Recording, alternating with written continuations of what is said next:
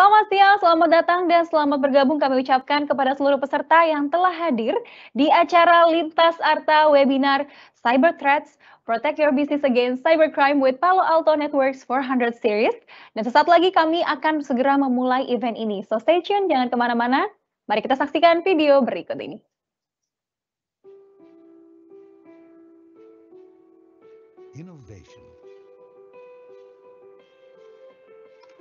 Past, innovators obtained information, communicated, then developed technology to realize their ideas. Yeah, hello. Oops, not this one. This one. Businesses that were able to innovate continuously proved able to sustain their competitive edge as well.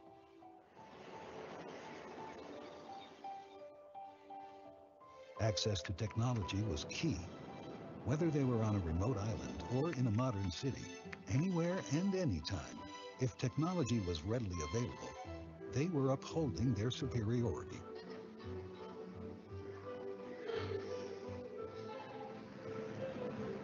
This is the ICT era. Innovation is not limited to acceleration or expansion. ICT innovation renews old business services that have become obsolete reaching different sets of stakeholders, and ultimately creating new businesses.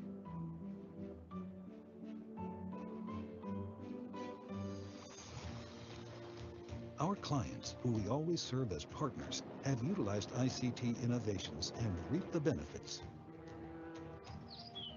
Up-to-date data about supply, needs, and delivery time is now available anywhere, even in the fields of plantations public servants become more friendly, with higher esteem in serving the people. Furthermore, physicians now develop better doctor-patient relationships because all the important information they need is readily available.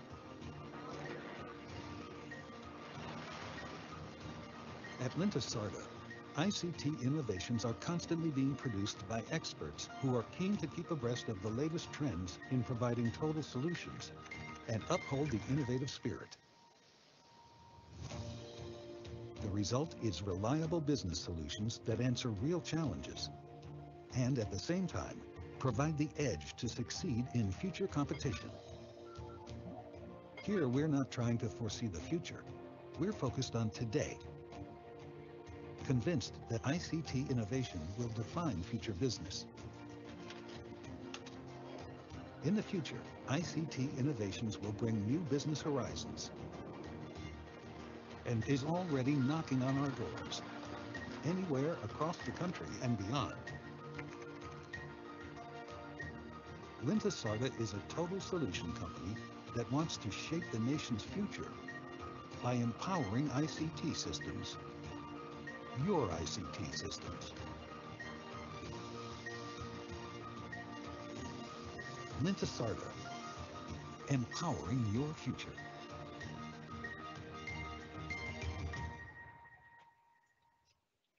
Selamat pagi, salam sejahtera untuk kita semua. Selamat bergabung tentunya. Assalamualaikum warahmatullahi wabarakatuh. Selamat datang di acara Lintas Arta Webinar dengan tema Cyber Threats Protect Your Business Against Cybercrime with Palo Alto Networks 400 Series. Boleh beri tepuk tangan yang meriah di kediamannya masing-masing? Oke, Bapak dan Ibu sekalian, tentunya Lintas Arta telah hadir dan melayani pelanggan dari berbagai segmen industri selama lebih dari 33 tahun. Lintas Arta saat ini telah bertransformasi dari perusahaan yang memberikan jasa layanan data communication menjadi perusahaan ICT Total Solution yang memberikan layanan dan solusi secara end-to-end. Dan tentunya siang hari ini kita akan membahas terkait beberapa teknologi Palo Alto yang relevan tentunya dengan kondisi saat ini, bekerja sama dengan Lintas Arta memberikan solusi apa saja yang dapat diterapkan dan membantu perusahaan survive di masa pandemi kali ini. Sebelumnya tentunya perkenalkan saya Rani Raj akan menjadi moderator yang akan menemani dan tentunya memandu jalannya diskusi kita di siang hari ini. Dan kita juga di sini uh, tidak sendirian karena telah hadir bersama kita pada siang hari ini teknologi teknologi expert di Palo Alto Networks yang kami hormati Bapak Yohanes Syalin selaku Palo Alto Solution Specialist. Selamat siang Pak Yos. Selamat pagi. Pagi oh kali iya, ya. selamat pagi ya. Semangat pagi nih, masih semangat pagi. Halo Pak Yos. Halo, selamat ya. Waduh, keren banget nih. Nampaknya lagi di kutub utara ya Pak Yos ya. Dingin sekali nampaknya di sana ya. Sehat Pak Yos? Hmm. Ya, uh, selamat pagi semuanya. Uh, perkenalkan sama saya Yohanes, saya channel IC dari uh, Palo Alto Networks ya. Salam kenal semuanya kalau yang belum kenal ya. Salam kenal Pak Yos. Nanti kita akan berbincang-bincang sama Pak Yos langsung ya untuk mengetahui solusi-solusi tentunya yang dapat diberikan uh, oleh Palo Alto untuk member, dapat diterapkan di perusahaan-perusahaan Bapak dan Ibu sekalian. Dan tentunya karena udah dikasih bocoran nih, jadi uh, saya tidak hanya berdua sama Pak Yos saja. Nanti di sesi kedua kita juga akan ngobrol-ngobrol dan berdiskusi dengan Bapak Kurniawan Dwi Prasetyo selaku Senior Vice President Infrastructure Solution dari Lintas Arta. Dan Pak Kurniawan atau Pak KDP biasanya uh, lebih akrabnya dipanggil Pak KDP aja kali ya. Sudah dari sebelah saya saat ini. Selamat pagi Pak KDP. Selamat pagi juga Mbak Rani. Terima kasih banyak uh, Bapak Ibu hadirin sudah hadir juga di webinar kali ini. Oke, terima kasih Pak KDP. Nanti kita akan sharing juga sama Pak KDP dan kebetulan Pak KDP saat ini ada di studio bersama saya, jadi kita bisa lebih eh, kulik-kulik uh, lagi ya, bisa lebih interaktif lagi tentunya ya. Nah, Sedikit informasi kepada Bapak dan Ibu sekalian seluruh peserta webinar hari ini. Uh, tentunya acara kita telah mematuhi protokol kesehatan yang berlaku dengan menerapkan physical distancing dan juga kita telah melalui tes uh, COVID sebelumnya ya dan Betul dinyatakan sekali. negatif dari COVID-19. Jadi tentunya acara ini telah telah aman dan juga mematuhi protokol kesehatan 5M ya dengan menerapkan protokol kesehatan 5M juga. Dan tentunya selama sesi webinar ini berlangsung, Bapak dan Ibu sekalian, seluruh peserta webinar, jika ada pertanyaan kepada kedua narasumber kita, silakan langsung dituliskan di kolom Q&A yang sudah tersedia di fitur Zoom Bapak dan Ibu sekalian saat ini ya. Dan tentunya nanti uh, pertanyaannya akan dijawab langsung oleh kedua narasumber kita di sesi Q&A. Namun pertanyaannya boleh dituliskan ketika Pak Yos dan juga Pak KDP memberikan paparan atau uh, diskusi kita berlangsung ya, sehingga tidak lupa nanti pertanyaannya ya. Nah, tidak hanya itu saja, selain hari ini kita berdiskusi dan akan menjawab pertanyaan Bapak dan Ibu sekalian, di akhir acara nanti kita akan mengadakan quiz quizzes ya dengan door prize untuk tiga orang pemenang. Mungkin Bapak dan Ibu sekalian sudah tahu di sini ya.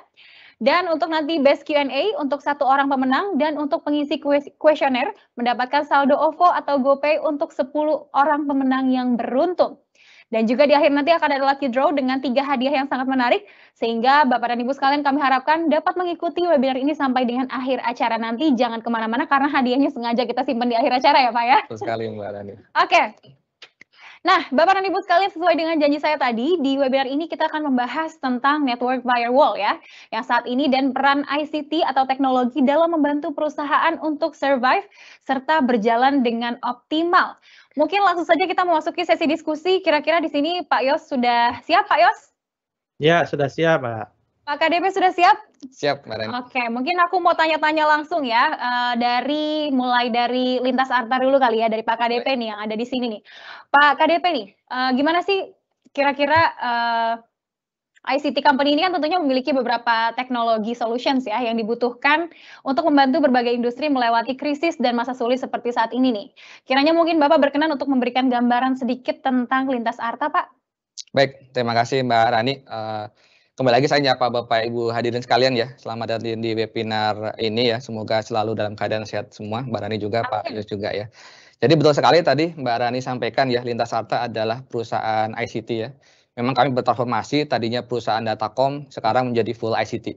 Jadi nggak cuma connectivity, tapi kami juga uh, menyediakan uh, IT services maupun industry solution dan juga uh, kami sudah berdiri uh, lebih dari 33 tahun, Mbak. Oke. Okay. Kemudian juga coverage kami juga di seluruh Indonesia. Mm -hmm. Jadi sudah cukup banyak pelanggan yang kami layani. Total ada sekitar lebih dari 2.400 pelanggan. Oke, okay, 2.400 ya Pak ya dalam 33 tahun. Ya? Dalam 33 tahun dan itu ada dari berbagai segmen, berbagai mm. segmen industri yang yang cukup luas ya, mulai dari finance, manufacture dan lain-lain. Kemudian juga karena kami perusahaan ICT, solusi yang kami miliki juga cukup lengkap ya. Selain connectivity, kami juga punya solusi untuk uh, eh, IT service dan hmm. juga uh, industry solution. Hmm. Jadi spesifik dengan industri-industri uh, yang ada ya, sehingga bisa lebih tepat uh, solusi yang kami belikan. Nah, untuk IT service sendiri ya, kami punya uh, data center, kemudian kami juga punya cloud services dan juga security. Uh, seperti uh, tema kita pada uh, pagi hari ini. Jadi Uh, saya akan coba bahas sedikit ya solusi security yang dimiliki Lintas Harta. Jadi uh, kami memiliki solusi security yang cukup lengkap, uh, yang terintegrasi end to end ya, mulai dari yang di sisi ujung, di ujung uh, lokasi Bapak Ibu sekalian ya, uh, di endpoint kami uh, kita sebutnya ya, dalam bentuk manage uh, endpoint protection seperti antivirus, kemudian patch management dan lain-lain. Kemudian juga kami punya solusi untuk manage security device. Jadi uh, firewall ya, yang sekarang kita uh, diskusikan di webinar kali ini juga salah satu uh, solusi kami ya dalam bentuk manage security device atau manage next gen firewall maupun uh, web application filter atau kita sebut sebagai WAF. Kemudian juga solusi-solusi security ini juga kami lengkapi dengan adanya SOC atau Security Operation Center. Jadi mm-hmm. SOC itu uh, isinya uh, tim ya yang memang uh, expert di security yang akan memonitor 24 kali 7 uh, semua insiden atau threat yang uh, ada ya dan akan memberikan uh, analisa dan juga evaluasi terhadap uh, insiden yang terjadi. Uh, selain itu kami juga punya solusi yang lain-lain ya seperti manage NOC monitoring, kemudian vulnerability management untuk melihat apakah uh, ada celah keamanan mm -hmm. di network Bapak Ibu atau di infrastruktur IT dan juga uh, dengan kondisi pandemi sekarang ini kan uh, kita banyak interaksi lewat lewat conference ya. Iya, betul betul. itu dan kita butuh tools collaboration. Kita juga punya solusi collaboration yang terus saja aman ya, mm -hmm. uh, harus aman. Uh, solusi-solusi tadi sudah banyak dipakai ya oleh pelanggan-pelanggan uh, kami. Uh, ada sekitar lebih dari 80 pelanggan yang saat ini sudah menggunakan layanan security kami dari berbagai industri juga. Kemudian tadi saya sempat sebut terkait dengan SOC. Hmm. SOC kami uh, sudah memproses lebih dari 30 ribu message per second. Jadi setiap hmm. detik itu ada 30 ribu uh, event atau uh, message ya yang dikirimkan oleh perangkat-perangkat security tadi yang hmm. masuk ke sistem kami dan itu diproses dan dianalisa oleh uh, tim SOC kami. Seperti itu. Kemudian juga uh, kami saat ini juga sudah melayani atau melakukan manage terhadap lebih dari seribu uh, ribuan lah ya ribuan hmm. perangkat uh, security maupun endpoint dan juga tadi saya sebutkan lintas data juga punya uh, data center dan, dan cloud. Nah, data center dan cloud yang kami miliki sudah pasti uh, diproteksi juga okay. dengan firewall, dengan solusi-solusi security yang yang kami miliki. Itu sih Mbak Rani, okay, sekilas jadi, tentang lintas harta. Itu tadi sekilas tentang lintas harta lengkap sekali ya, komprehensif sekali dan uh, itu tadi lintas harta memang end-to-end solution ya memang betul, sudah tersedia betul, ya. Betul sekali. Salah satunya itu. adalah security yang memang sekarang lagi penting lagi banget nih, banget, jadi booming betul. banget ya, terutama di era digital transformation saat ini ya Pak ya. Betul sekali. Oke, okay, kalau tadi kita ngomongin lintas harta, mungkin buat Bapak dan Ibu sekalian peserta yang punya pertanyaan, silakan boleh langsung tuliskan pertanyaannya di kolom Q&A. Silakan tuliskan pertanyaannya mungkin terkait dengan lintas harta ya. Terima kasih Pak KDP atas uh, penjelasannya terkait lintas arta. Mungkin selanjutnya kita akan move ke Pak Yos ya. Pak Yos? Ya. Yeah. Ini Pak Yos kan dari Palo Alto ya. Mungkin yeah. Ya, uh, semua kita di sini tahu nih, Palo Alto Network sendiri kan sebagai salah satu leader ya di cybersecurity versi dari Gartner's Magic Quadrant nih, khususnya di bidang network firewall. Kira-kira Pak Yos boleh nggak sih sharing uh, gambaran umum tentang Palo Alto dan ada update apa nih Pak yang mungkin bisa diinfo ke kita para peserta dari webinar hari ini? Hmm, oke, okay. Uh, terima kasih untuk waktunya Mbak Rani ya. Uh, jadi mungkin rekan-rekan di sini mungkin sudah pada tahu ya Palo Alto atau mungkin juga mungkin yang baru kenal sama Palo Alto, uh, mungkin saya bisa cerita sedikit ya. Jadi kalau kita ngomongin soal uh, network firewall, uh, terutama di network security ya, dulu itu orang kenalnya itu ada dua magic quadrant. Dulu ada namanya itu uh, NGAW Magic Quadrant di Gartner ya. Kemudian ada satu lagi namanya namanya Unified Threat Management. Itu dulu sebelum digabung jadi satu. Jadi ada dua di Gartner. Terus sekitar tahun 2019 itu 2018 2019 saya itu dua magic quadrant itu digabung jadi satu. Jadi NGFW dulu ada sendiri, UTM ada sendiri, kemudian itu digabung jadi satu, keluarlah namanya di Gartner itu namanya uh, Network Firewall Magic Quadrant. Yang which sebenarnya meskipun setelah digabung juga itu Palo Alto itu masih tetap posisinya nggak berubah, justru malah posisinya tambah di ujung kanan atas. Jadi bisa dibilang kalau misalnya dari penggabungan dari uh, Magic Quadrant NJV, kemudian Magic Quadrant UTF digabung jadi satu, posisi yang masih tetap di atas. Setelah jadi uh, uh, Magic Quadrantnya itu dinama, di kanan nama, dinamakan menjadi Network Firewall, posisinya Palo Alto masih tetap di ujung kanan atas. Yang which is itu uh, cukup susah buat kompetitor, kompetitor yang lain untuk ngejar ya. Jadi kalau per tahun yang 2020, jadi tahun kemarin ya, per 2020, itu kita udah 9 kali berturut-turut menjadi uh, uh, leader ujung kanan atas ya di untuk network firewall atau NGFW atau network firewall. Magic Quadrant Gartner itu nanti uh, keluar nanti sekitar bulan uh, mungkin sekitar bulan Oktober September lah ya. Itu akan keluar lagi yang 2021 harusnya posisinya masih sama sih. Jadi Palo Alto berarti kalau nanti ditambah sama tahun ini harusnya di 10 kali berturut-turut kita menjadi network uh, leader uh, leader di network security itu kalau ngomongin Gartner ya karena Gartner ini paling umum di uh, Indonesia. Uh, terutama yang banyak pakai di uh, uh, FSI atau government itu rata-rata patokannya pakai Gartner Kemudian sebenarnya ada beberapa uh, uh, kategori lagi. Kayak misalnya kita lihat di slide ini ya, itu ada zero trust leader. Jadi kalau misalnya rekan-rekan uh, di sini mungkin sudah mulai punya roadmap ke arah zero trust environment, kemudian gimana cara implementasinya, gimana cara kita uh, uh, best practice-nya untuk kita menerapkan zero trust seperti apa, kita harus mulai start dari mana dulu. Nah itu juga kita itu juga kita juga menyediakan layanan konsultasi lah ya. Kita bisa ngobrol sama-sama, kita lihat uh, dari sisi networknya seperti apa dan apa yang kita bisa garap dan nanti step-stepnya seperti apa. Jadi itu juga ada itu bagian zero trust. Tapi ini biasanya yang relevan industrinya itu biasanya di FSI, government sama telco ya. Uh, ya sama healthcare sebenarnya. Kalau di healthcare uh, Indonesia juga udah mulai nerapin inilah compliance compliance. Kemudian selain itu juga SD1 leader. Uh, kenapa dinamakan SD1 leader? Karena kita juga uh, punya produk uh, lini produk juga yang untuk uh, khusus untuk SD1 uh, dulu kita akuisisi dengan namanya Cloudgenix, kemudian setelah di uh, Palo Alto kita akuisisi, kita namakan namanya Prisma SD1. Tapi hari ini kita nggak akan bahas di sana lah ya. Nah, yang menarik adalah kita tuh bisa dibilang uh, vendor teknologi yang punya solusi di cloud itu sekarang posisinya paling lengkap. Kenapa bisa dibilang begitu? Karena kalau kalau Nevo Firewall orang-orang pada tahu lah ya, udah pada tahu Palo Alto uh, uh, capability-nya seperti apa. Itu kan kalau kalau kita bisa bilang itu kan kayak kalau di otomotif itu mungkin kayak BMW-nya lah ya. Uh, kemudian kalau misalnya di smart device atau smartphone itu Palo Alto itu posisinya kayak iPhone-nya, jadi yang yang top tier-nya ya.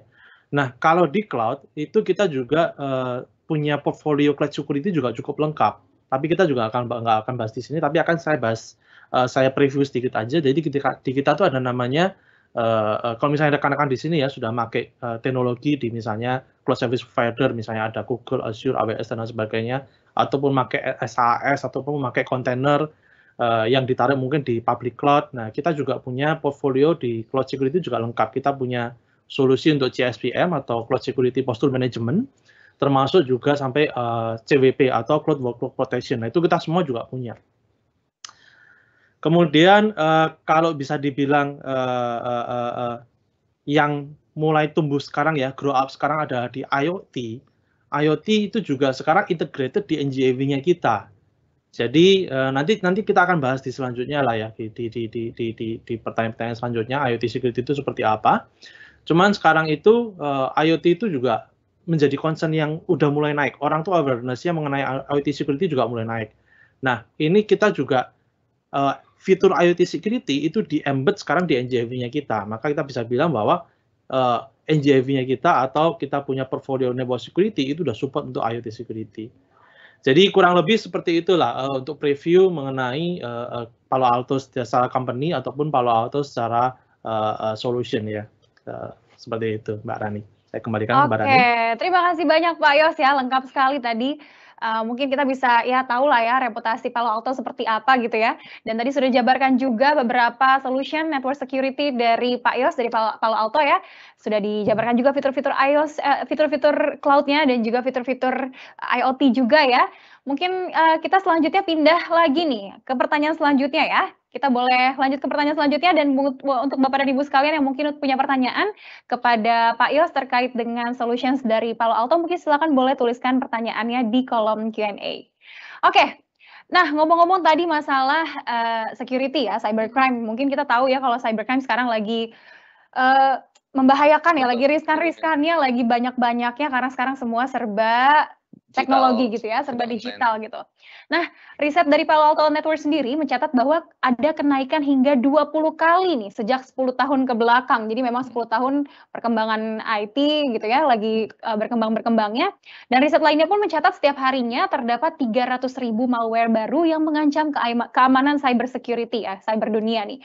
Bagaimana nih tanggapan dari Palo Alto dan juga Lintas Arta sendiri ya terhadap kondisi dan uh, hasil survei ini? Mungkin kita mulai dari Palo Alto dulu ya, Pak Yos, gimana nih tanggapannya Pak? Ya, uh, ini topik yang menarik ini karena memang eh, rata-rata uh, customer juga sekarang uh, uh, kalau kita bilang ya kita ngomongin flashback uh, 3 sampai 5 tahun ke belakang security awareness-nya itu di customer itu biasanya masih masih concern uh, yang paling banyak itu orang IT yang yang security awareness-nya cukup bagus ya. Cuman kalau kita lihat sampai uh, di tahun ini, terutama tahun ini ya, terutama tahun ini terakhir-terakhir ini juga uh, security awareness itu sekarang bukan hanya di level IT aja, tapi udah mulai dari dari sisi dari sisi mungkin eh, bagian-bagian yang lain itu security awareness-nya mungkin juga akan ada training juga ya. Itu uh, udah mulai naik juga. Jadi uh, udah mulai mereka itu udah mulai concern ya masalah security. Kenapa? Karena memang uh, security ini wah bisa dibilang itu tahun-tahun sekarang itu perkembangannya itu sangat tinggi. Jadi uh, cukup membahayakan apalagi kalau misalnya kita nggak punya awareness yang cukup ya uh, masalah phishing, masalah ransomware itu yang uh, kalau kita ngomongin mungkin uh, uh, malicious activity tiga mungkin 5 10 tahun ke belakang lah ya. Itu paling activity-nya tuh paling cuman bikin gimana caranya bikin laptop jadi lemot gitu ya atau gimana caranya bikin uh, uh, PC atau server jadi jadi nggak bisa diakses sih masih sebatas itulah. Kalau sekarang itu justru uh, indikasinya jauh lebih berbahaya karena virus malware sekarang itu tujuannya bukan membuat laptop atau server jadi lemot. Tujuan utamanya bukan itu. Malah kalau misalnya dibikin cepat, dibikin cepat aja sekalian gitu loh. Dibikin bagus aja sekalian. Karena tujuan sekarang adalah yang paling berharga itu bukan hanya bukan mematikan uh, produksi, tapi gimana caranya kita nyolong data dari sana. Nah itu yang berbahaya. Apalagi kalau zaman sekarang, eh, terutama data-data pribadi ya, data-data pribadi itu juga orang uh, uh, uh, banyak lah ya upload mungkin ke ke internet yang kadang-kadang uh, itu juga kita agak agak susah deteknya apakah benar-benar itu dia udah secure ya, infrastrukturnya udah secure apa belum? Kayak misalnya sekarang anggaplah ya. Orang dulu mana ada sih kripto? Sekarang zamannya kripto. Orang pada kenal namanya cryptocurrency. Kalau syaratnya orang mau main kripto gimana caranya? Udah pasti dia upload data. Datanya data pribadi, dia pegang KTP, ada fotonya, ada namanya siapa, tanggal lahirnya siapa, uh, kemudian lahir-lahir di mana, nomor rekeningnya berapa, divalidasi ke banknya, datanya diupload ke internet. Itu mungkin cryptocurrency lah ya. Oke lah, ya cryptocurrency mungkin nggak semua orang main. Saham, trading, trading sekarang orang itu rata-rata juga uh, even juga uh, trading itu kalau dulu zaman saya dulu uh, mungkin mahasiswa gitu ya uh, atau orang baru kerja mana kenal sih namanya trading tapi sekarang anak-anak mungkin anak-anak sekolah udah ada sebagian yang ngerti masalah trading kemudian uh, uh, uh, uh, mahasiswa yang di university juga udah mulai ngerti masalah trading orang-orang yang baru kerja mungkin dia dia kalau untuk dia mikir ke masa depannya dia menyisihkan sebagian uh, dananya untuk trading. Oke lah ya. Begitu dia ikut trading, apa yang diupload lagi ke platformnya? Data data informasi pribadi lagi kan ya. Uh, udah pasti nomor rekeningnya berapa, dia mesti validasi, dia, dia ikut KYC-nya uh, sampai datanya itu tervalidasi. Nah, data-data penting seperti ini belum lagi kalau misalnya kita ngomongin, ngomongin company ya. Company sekarang rata-rata punya web, punya aplikasi, yang punya uh, server, yang punya data-data ditaruh di situ. Mungkin dia pakai cloud service provider, di which is uh, datanya semuanya disimpan di situ akhirnya uh, poinnya untuk atau attack surface-nya itu ya itu semakin lebar gitu. Attack surface semakin lebar, celahnya untuk uh, cyber kriminal untuk masuk itu juga semakin banyak. Nah, yang berbahaya adalah kalau misalnya kita perhatikan di sini ya, yang paling yang paling kanan lah, yang paling kanan. Ada namanya false attack. Ada namanya false attack. Ini saya sambil salah satu contoh aja ya, false attack. False attack itu itu model attack yang even orang itu nggak perlu install di dalam PC atau laptopnya. Jadi kalau misalnya dia terima phishing phishing email, kemudian phishing emailnya itu dia klik, itu dia langsung otomatis aktif. Selama PC-nya itu aktif, selama PC-nya hidup. Karena file attack itu biasanya disimpan di dalam memori.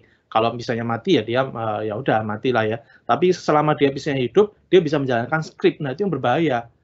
Misalnya dia uh, anggaplah mungkin habis liburan, dia uh, kemudian cyber kriminal uh, uh, uh, apa namanya uh, uh, sosialan dulu ya, social engineering lah ya, dia perhatiin uh, uh, usernya ini ke mana aja, kemudian dia kirim email phishing sehingga user itu lebih in, lebih condong untuk untuk ngeklik email tersebut kalau ada link atau uh, atau mungkin di HP ya, di HP mungkin ada linknya terima undian apa kalau itu biasa lah ya. Yang biasanya kalau social engineering biasanya kalau misalnya kita udah liburan ke mana, kita kan biasanya posting kan ya di sosial media, diperhatiin Oh dia posting di sosial media misalnya liburan ke Bali, mungkin di hotel mana. Karena kan sekarang kita kan modelnya gitu.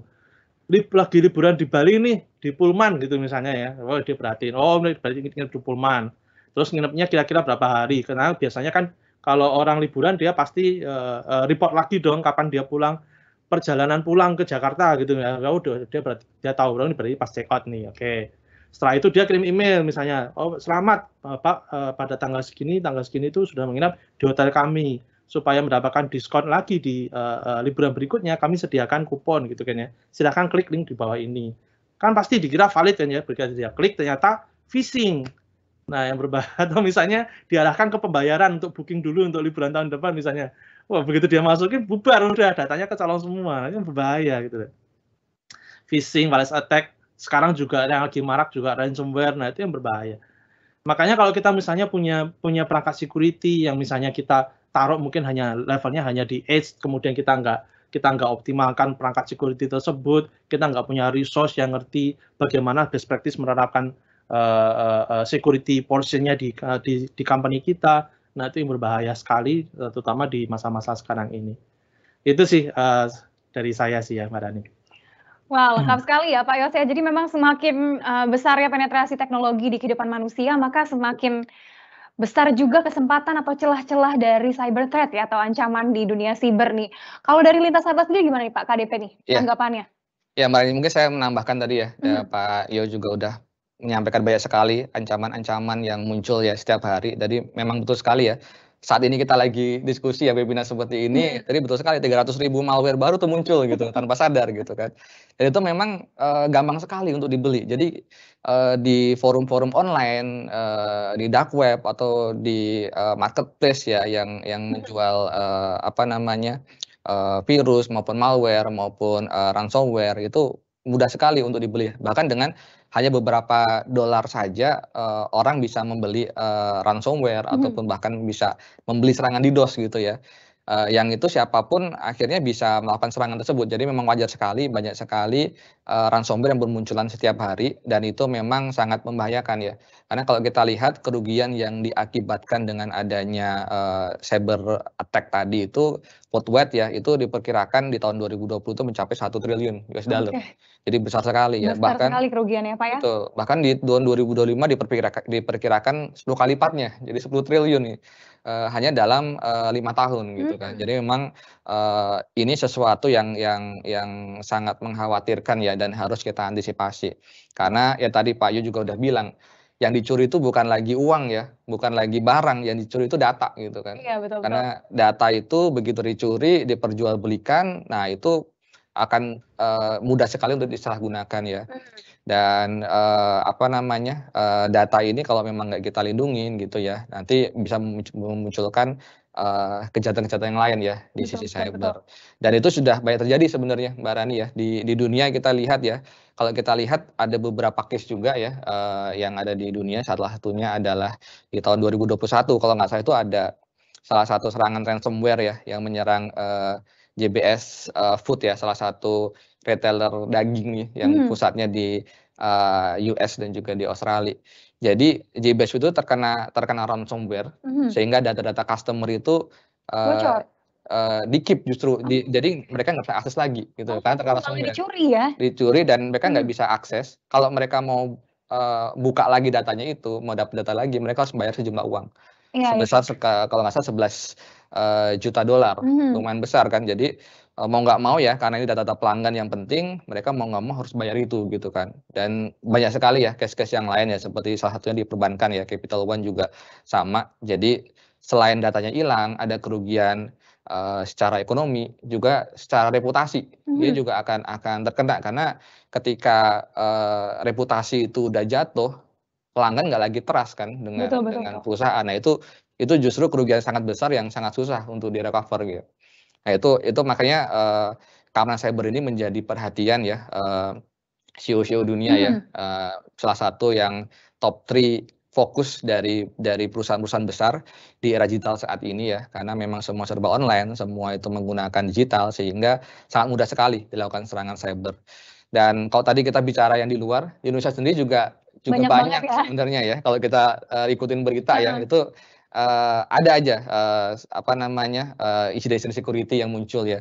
Yang terakhir mungkin Bapak Ibu juga tahu ya uh, ada kebocoran 279 juta data penduduk Indonesia tuh. Iya, Jadi betul, mungkin betul, data Mbak betul. Rani juga ada di situ, data Pak Yo Betul dan di situ juga ya. itu juga gitu. Nah, itu itu juga sangat-sangat berbahaya karena dengan data itu bocor bisa disalahgunakan. Nah, itu nanti efeknya bisa ke mana-mana ya, bisa tadi social engineering tadi Pak Yo juga sampaikan, bisa nanti dalam bentuk penipuan atau data kita disalahgunakan Betul, untuk betul. misalnya untuk masukin ke pinjaman online dan lain-lain. Tahu-tahu kita kejar-kejar aja padahal kita nggak ngerasa kejar-kejar ya, ada kita gitu kan. kita nggak nggak ngerasa Betul, untuk betul. mendaftar gitu kan. Bahkan eh, diperkirakan dari kerugian data itu saja sebenarnya bisa berpotensi ada 600 miliar ya, 600 triliun malah yang yang bisa eh, apa nah, kerugian yang Betul, didapatkan betul. karena nanti akan menyebar dengan sangat luas gitu kan dan sektor-sektor yang lain juga sama ya. Ada marketplace ya waktu itu yang juga eh, muncul di berita. Itu heboh banget tuh ya. Nah, itu kan apalagi yang suka belanja Iya, ya. aku langsung hapus. eh, Nah, gitu.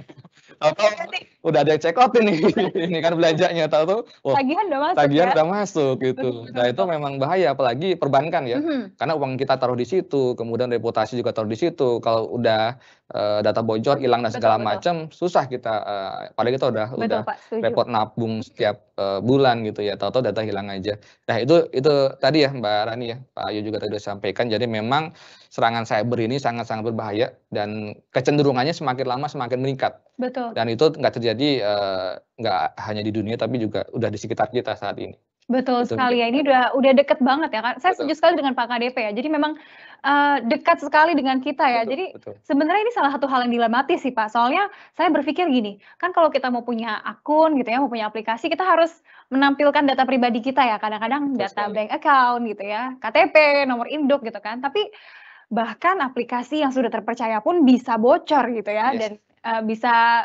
bisa kecurian data lah ya. Ya. Itu kan menjadi hal yang dilematis. Sedangkan kalau kita mau bertransaksi memang harus menggunakan data pribadi ya. Makanya Betul. sekarang cyber security menjadi salah satu aspek yang paling penting dan memang sekarang lagi digaungkan di mana-mana dan kita harus catch up juga ya dengan cyber threat yang ada ya Pak ya. Betul, betul sekali Mbak Rani. Oke, kita move ke pertanyaan selanjutnya. Namun lagi-lagi saya ingin mengingatkan buat para peserta, Bapak dan Ibu sekalian, para peserta webinar, silakan jika ada pertanyaan terkait diskusi yang baru saja kita lakukan, boleh silakan tuliskan pertanyaannya di kolom Q&A yang sudah tersedia ya. Oke, kita eh, lanjut lagi ya Pak Yos ya, Pak KDP. Yap. Kalau misalnya ngomong-ngomong kaitannya dengan teknologi wise nih, mungkin audiens di sini juga ada yang ingin tahu gimana sih tahap implementasi tekno- teknologi cyber security yang optimal nih, khususnya terkait firewall security, eh, tentunya agar perusahaan tetap aman dari attack atau serangan-serangan yang terus berkembang yang tadi mungkin sudah disebutkan juga sama Pak Yos, Pak KDP. Mungkin Pak Yos ada tanggapan Pak? Ya, eh, thank you. Jadi kalau kita ngomongin eh, gimana sih ya eh, best practice-nya supaya kita bisa nerapin teknologi ya atau security di dalam kita punya company gitu ya. Itu kita memang harus eh, eh, apa ya punya patokan lah ya. eh, eh, implementasi yang bagus itu seperti apa? Karena nggak hanya dari sisi implementasi aja yang penting sebenarnya. Dari sisi resources, resources yang kita punya itu juga sebenarnya penting gitu. Cuman untuk resources nanti nanti pembahasan di belakang lah ya. Yang pertama kita ngomongin implementasi dulu lah. Em, sebenarnya kalau kita misalnya ngomongin dari sisi size company ya, dari sisi size company dulu lah. Apakah size company yang kecil dengan size company yang besar itu eh, berarti kita punya asumsi berarti kalau ke- kalau company yang kecil nggak perlu terlalu secure nggak apa-apa gitu ya. Terus kalau company yang medium mungkin ya sudahlah ya, ada security-nya nggak ya, yang penting ada lah ya ada security-nya. Kalau yang gede oke baru gini baru kita kata baru kita benar-benar secure. Nah ini yang ini yang eh, harus dirubah. Ja- ja- pola pikirnya mestinya berubah. Karena sebenarnya kalau kita ngomongin security, mau itu size company-nya gede, mau size company-nya medium, mau size company-nya kecil, mau mau mau personal, itu sebenarnya security tingkat security yang kita butuhkan tuh harusnya sama gitu loh. Kalau misalnya di company yang gede dengan dengan berbagai macam eh, mereka punya teknologi, dengan berbagai macam punya segmentation, mereka punya layanan security-nya banyak, mungkin eh, kalau misalnya ada phishing, eh, kemudian usernya mungkin secara nggak sengaja ngeklik phishing bisa diblok. Nah, tingkat security yang sama itu harusnya itu juga dipunyai oleh company yang size-nya medium ataupun yang SMB. Sampai di sini setuju ya? Karena kan Mhm. Kalau misalnya anggaplah uh, company yang medium, tidak punya layer security yang uh, mungkin sampai kita bisa protect usernya dari phishing. Begitu dia ngeklik email phishing, misalnya orang akuntan, uh, akuntan apa misalnya accountingnya ya, terima invoice, kemudian uh, mungkin ada orang kirim PO gitu misalnya ya, dia tidak tahu bahwa ini adalah phishing, attachmentnya ternyata ada malicious, ya begitu dia klik bubar. Malware-nya infect di situ atau yang mungkin yang baru startup gitu ya mungkin yang yang levelnya baru mulai start dari kecil dari small gitu kan dari SMB mungkin ya.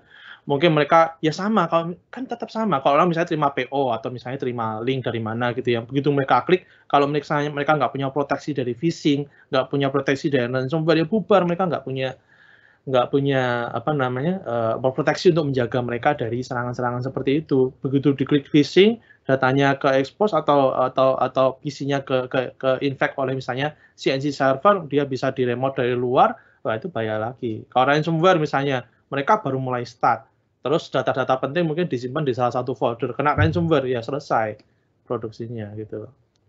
Jadi mbak, jadi ini kita mesti mesti mesti uh, apa namanya uh, uh, karena kadang-kadang customer memang begitu. Saya ketemu sempat ketemu customer kadang-kadang terutama biasanya dari sisi uh, uh, uh, yang ada beberapa manufacturing lah nggak semua tapi ada beberapa yang saya sempat ketemu tuh uh, orang IT-nya karena mungkin orang IT-nya mungkin sudah lama bekerja di situ base-nya dari orang network dia bilangnya wah company kita mah siapa sih yang mau ngetek sih?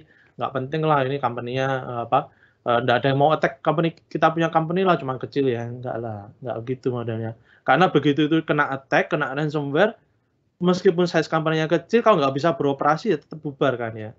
Nah itu yang berbahaya sebenarnya. Nah jadi ide ide ide besarnya adalah gimana caranya kita menerapkan uh, solusi solusi yang enterprise grade, yang enterprise grade security ya, yang yang dipakai di company-company besar, yang dipakai di uh, telco, yang dipakai di uh, financial banking yang yang yang punya banyak cabang di seluruh dunia. Gimana caranya kita menerapkan solusi security yang di sana, yang ditaruh di sana, itu levelnya juga sama, baik di level yang uh, medium ataupun yang menengah atau yang SMB gitu loh. Levelnya mesti sama nih, proteksinya mesti sama Nah, itu kan ide besarnya kan ya. Kita punya di Palo Alto tuh punya visi adalah gimana caranya kita uh, menjadikan kita punya daily operation itu lebih secure. Kita punya visi seperti itu. Jadi bukan hanya kita urusin yang customer yang customer yang gede-gede juga, termasuk ke yang level medium sampai ke level yang SMB juga. Kita mau proteksi semua layer dengan tingkat security yang sama seperti yang dipakai di enterprise grade. Nah, itu ide besarnya sih. Cuma mungkin selama ini tuh uh, selama ini orang-orang kenalnya Palo Alto, wah begitu kenal Palo Alto mungkin begitu mereka nyobain, wah barang bagus ini. Memang dari sisi security-nya kita bisa punya visibility komplit dari A sampai Z, dari hulu sampai hilir kita punya visibility-nya lengkap. Tapi mungkin begitu habis kena uh, pricing-nya, mereka waduh ini kayaknya nggak masuk di budgetnya kita lah ya.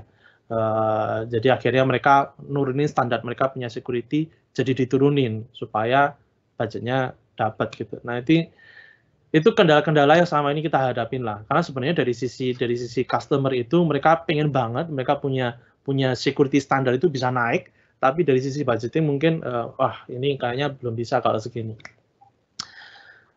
Nah itu masalah-masalah yang kemarin-kemarin lah ya seperti itu ya. Jadi kita banyak ketemu customer seperti itu.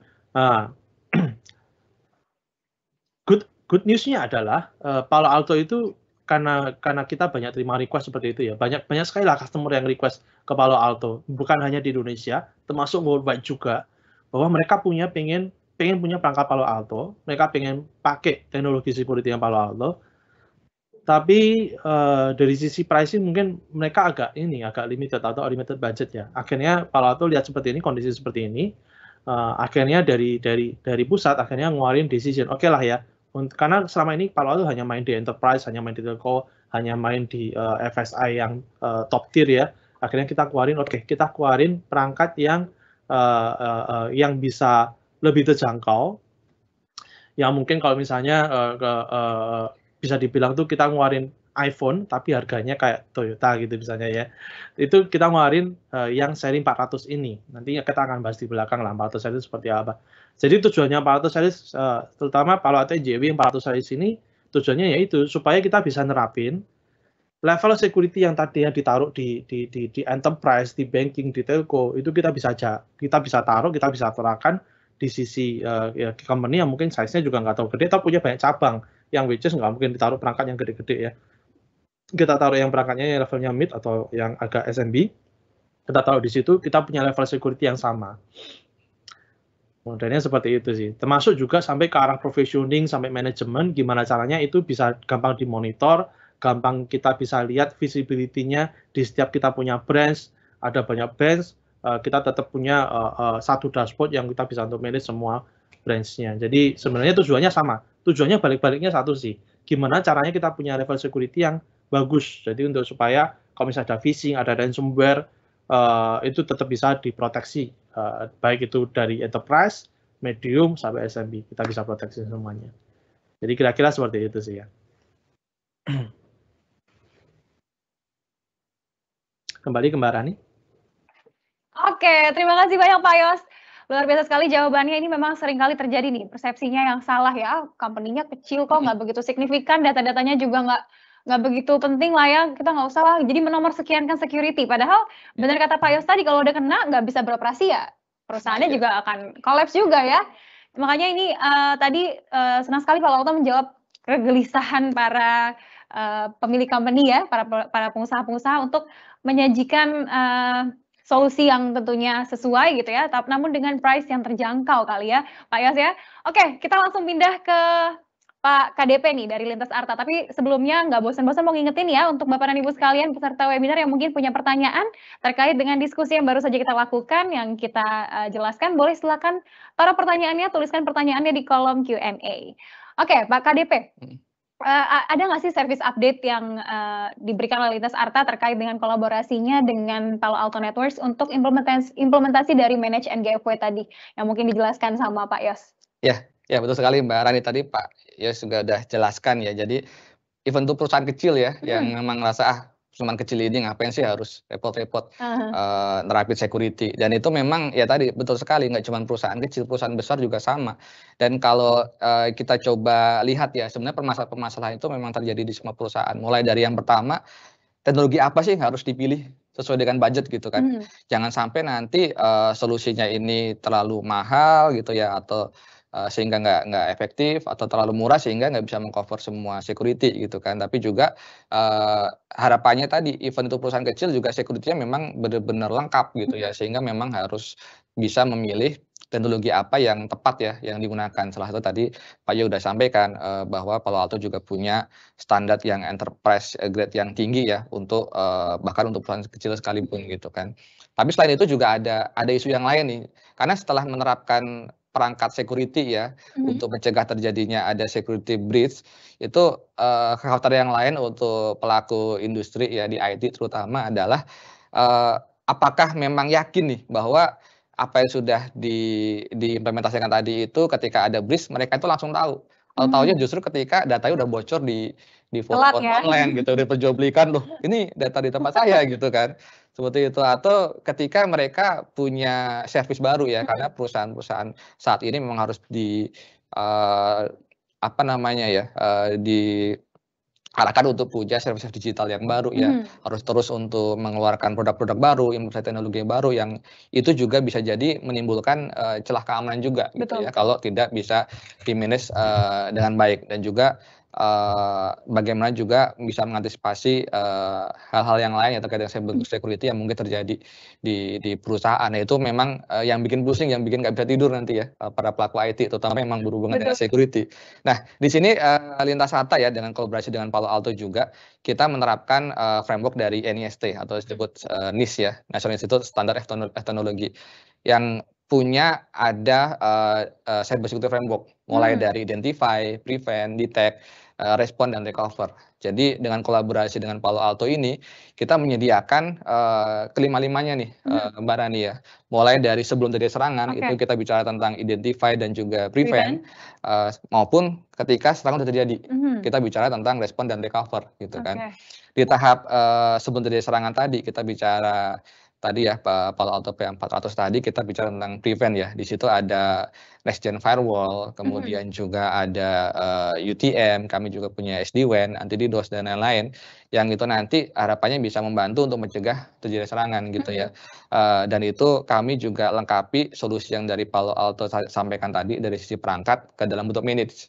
Mhm. Jadi uh, Bapak Ibu nggak perlu repot-repot untuk melakukan itu sendiri ya. Jadi Oke. perangkatnya perangkat Palo Alto, kami yang melakukan manage-nya. Oh Seperti gitu. itu. Jadi dari lintas Arta ya Pak ya? Ya betul. Jadi uh, Mhm. tim kami, tim security kami yang sudah uh, berpengalaman dengan sertifikasi yang cukup lengkap ya, Mhm. yang akan melakukan manage itu semua.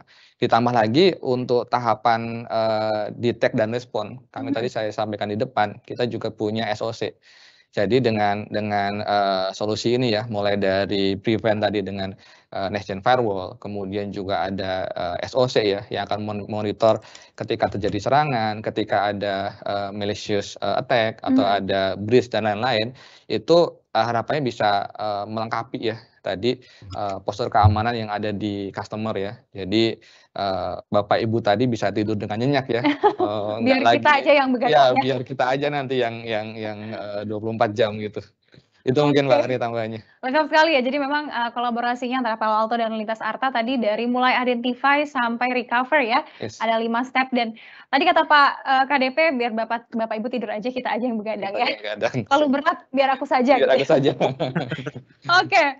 Pak Yos, balik lagi ke Pak Yos deh karena tadi kita Ya. sudah menyentuh ke produk update dari PA400 Palo Alto 400 ya yang Pak Yos ya yang Pak Yos tadi sudah jelaskan kira-kira apa saja sih value atau benefit yang mungkin didapatkan oleh pelanggan setelah diimplementasikannya PA400 ini Pak. Langsung aku tembak aja ya Pak ya.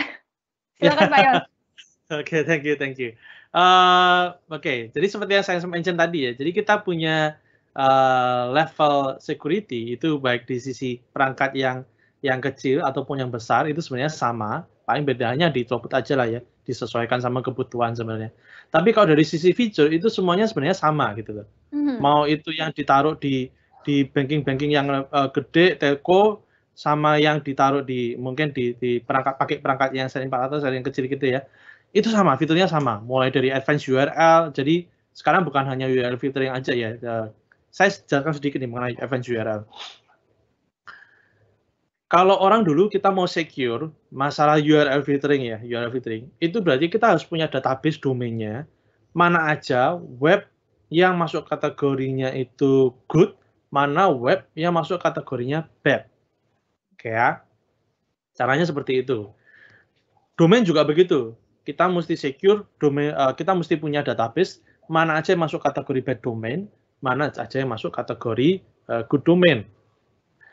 Nah, itu berjalan bertahun-tahun seperti itu. Problemnya sekarang adalah kalau orang bikin web, register domain, jalanin aplikasi baru, itu sekarang mudah banget gitu. Bahkan dalam hitungan hari 24 jam udah online uh, websitenya. Udah langsung bisa orang-orang di seluruh dunia bisa akses. Nah, kalau security company itu nggak bisa catch up dengan dengan banyaknya web-web baru yang keluar, yang nggak ketahuan ini good atau bad, ini phishing atau bukan, itu berbahaya. Kalau dia nggak bisa catch up, nanti usernya ketika pakai, dia mungkin nggak sengaja uh, klik uh, linknya, masuk ke website yang berbahaya, selesai ceritanya kena phishing gitu kan ya. Uh, dia kena malware dan sebagainya. Makanya di sini Pak Alto dari yang URL biasa sekarang kita tingkatkan menjadi advanced URL. Yang which is di situ ada machine learning-nya kita, di situ ada uh, tim uh, tim kita namanya Unit 42 yang itu 24 jam kita terus-menerus monitor activity di internet, kita pilah-pilah nanti uh, website itu berdasarkan kategori, kategorinya apa aja, mana yang masuk adult, mana yang masuk shopping, mana yang masuk website yang berhubungan dengan gambling, mana yang website-website baru itu semua dikategorikan, itu bekerja 24 jam uh, supaya filter. Jadi modelnya seperti itu. Ada machine learning juga di situ yang bisa pelajarin. Kalau ada konten-konten website yang ternyata itu mengandung malicious activity itu juga akan pasti akan diblokir juga. Jadi udah nggak bisa lagi ya kita pakai pakai cara-cara yang lama untuk menghandle uh, uh, threat yang sekarang-sekarang ini. Makanya keluarlah namanya advanced URL. Adanya seperti itu. Itu itu itu salah satu aja. Yang lainnya juga kita bisa sebut di sini ada namanya itu uh, machine learning juga. Itu bisa dibilang tuh Palo Alto itu NGV-nya itu adalah uh, uh, NGIV pertama di dunia yang pakai mesin learning.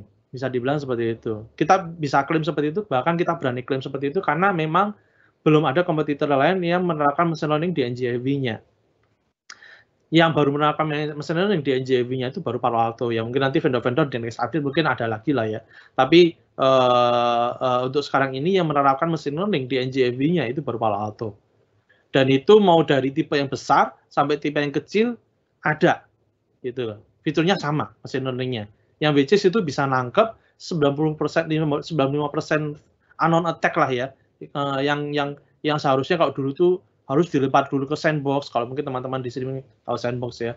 Uh, kalau yang non kan bisa diblok di NGIV-nya. Kalau anon itu harus ada pelatu perangkat lain atau ada salah satu lain namanya sandbox untuk bisa detect yang anon itu apakah malicious apa enggak supaya bisa diblokir. Nah, dengan menggunakan machine learning, maka 95% dari anon attack itu udah bisa diblokir secara inline dalam NGIV-nya kita. Makanya ini powerful sekali NGIV-nya Palo Alto ini. Makanya customer rata-rata pada happy lah. Uh, bahkan uh, terutama customer-customer kita yang yang dulunya make OS yang uh, versi lama, yang mungkin uh, hardware juga versi lama, mereka banyak banyak banyak banget yang mereka refresh ke versi baru supaya mereka bisa menerapkan mesin learning ini. Itu dari sisi mesin learning ya. Kemudian dari sisi feature itu semua juga lengkap. Kita nggak akan kita nggak kurangin. Even sampai ke IoT security itu IoT security juga ada di tipe perangkat kita yang kecil mungkin hanya perlu diaktifkan aja fiturnya. Nah, salah satu fitur IoT security ini gini.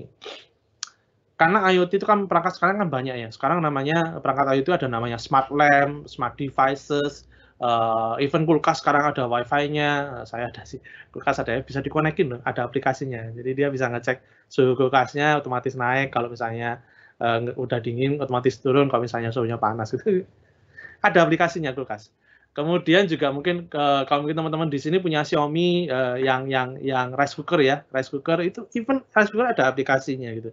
Sekarang AC AC juga rata-rata sekarang udah smart AC itu bisa dikonekin ke aplikasi. Nah ini IT security itu biasanya itu juga uh, orang dulu nggak tahu aware lah.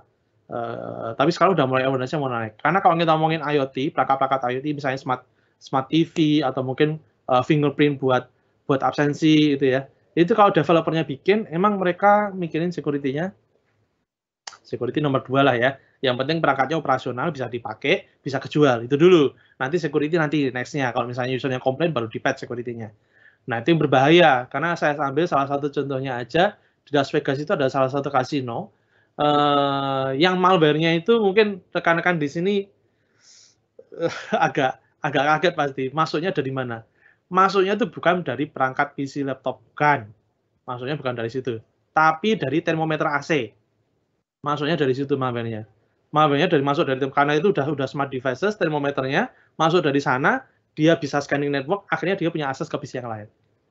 Masuknya ada di mana? Termometer AC. Ada vulnerability-nya. Bahaya. Oke, contoh lain lagi.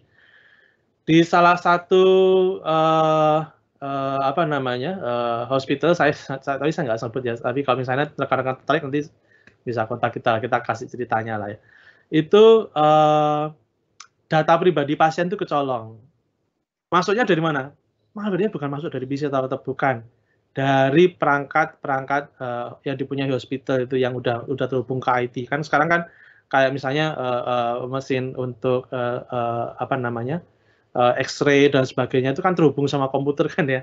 Nah, masuknya vulnerability dari sana. Ada lagi contoh lain lagi juga, misalnya contohnya. Uh, kalau ini udah beberapa tahun yang lalu lah, uh, mungkin teman-teman udah pernah dengar mungkin namanya ada ada ada views namanya Starknet. Nah itu itu uh, di salah satu uh, pembangkit listrik tenaga air ya itu di di Eropa Utara. Nama nama negaranya agak susah. Karena kan kebanyakan huruf huruf konsonannya nggak hafal. Nah, itu ada pembangkit listrik tenaga air. Itu uh, meledak, meledak, oke ya, meledak. Masuknya dari mana? Dari perangkat kontrolernya uh, uh, pembangkit listriknya tenaga airnya itu. Itu yang berbahaya karena dia manipulasi datanya yang harusnya turbinnya itu kecepatannya itu uh, normal, dia bikin tinggi tapi dashboardnya dimanipulasi dashboardnya tetap kelihatan normal. Akhirnya karena itu terlalu udah kecepatannya udah terlalu tinggi ya, akhirnya meledak.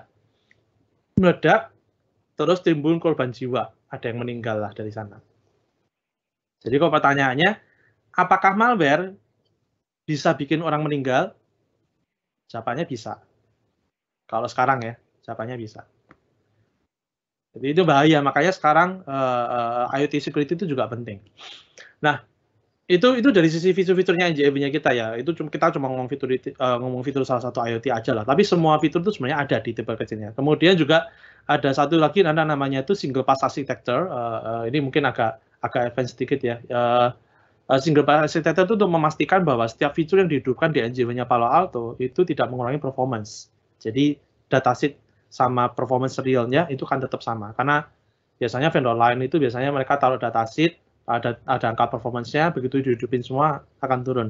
Nah, kalau ada di bawah itu namanya single pass architecture. Tapi itu agak teknikal sedikit lah ya. Jadi intinya adalah uh, kalau misalnya rekan-rekan di sini pakai NGLV-nya Palo Alto, mau semua fitur dihidupkan, itu angkanya akan sama sama dataset. Jadi kita nggak apa ya, nggak nggak kaleng-kaleng ya nggak bohongin customer bahwa angka yang di dataset itu udah benar udah pasti seperti itu jadi itu beberapa benefit kita menggunakan NGFV-nya Palo Alto lah ya itu sih kira-kira Mbak Rani Oke, terima kasih banyak Pak Yos ya sudah dijelaskan dengan detail tadi ya. Jadi NJFW-nya Palo Alto ini memang lengkap sekali, komprehensif sekali ya solusinya tadi mungkin sudah disebutkan advanced URL, ada machine learning, juga ada tadi IoT juga ya, sama terakhir yang lebih advance lagi single pass architecture ya Pak Yos ya. Mungkin selanjutnya ada tambahan mungkin dari kolaborasi antara uh, Palo Alto dan juga Lintas Arta mungkin, namun sebelumnya Bapak dan Ibu sekalian, mari kita saksikan terlebih dahulu tayangan berikut ini. Digital transformation is enabling powerful business opportunities. From data-driven insights through IoT technologies to connecting remote users around the world. From healthcare to manufacturing and beyond. As technology advances, IT teams must support an ever-increasing number of devices, apps, and data, and your security risks increase too. Whether it's gaps in security across your headquarters, branch offices, remote users, and cloud, greater attack surfaces from connected devices and apps, or security teams that are constantly responding to fast-moving attacks, lacking time and contextual information, and bogged down by slow manual processes. Today's evolving business environment means transforming your network security with a new type of firewall that's intelligent and proactive, one with machine learning and analytics at its core, that's built for all your environments. Palo Alto Networks has the world's first machine learning powered next generation firewall, a signatureless approach that enables complete device visibility, behavioral anomaly detection, risk based policy recommendations, and built in enforcement and prevention all without requiring additional infrastructure. Inline machine learning gives you the ability to prevent up to 95% of unknown threats instantly, directly on the firewall. No quarantines, no alerts, no extra work. For threats that can't be blocked in line, innovative zero delay signatures are delivered continuously and in near real time from the cloud to enable rapid prevention which means threats that have never been seen before can be stopped in single digit seconds, resulting in a 99.5% reduction in systems infected. You also get visibility across all IoT and connected devices without the need for additional sensors. Tablets, video cameras, scanners, machinery, managed and unmanaged devices. You can monitor all traffic and behavior. If anomalous activity is detected, you can identify it immediately.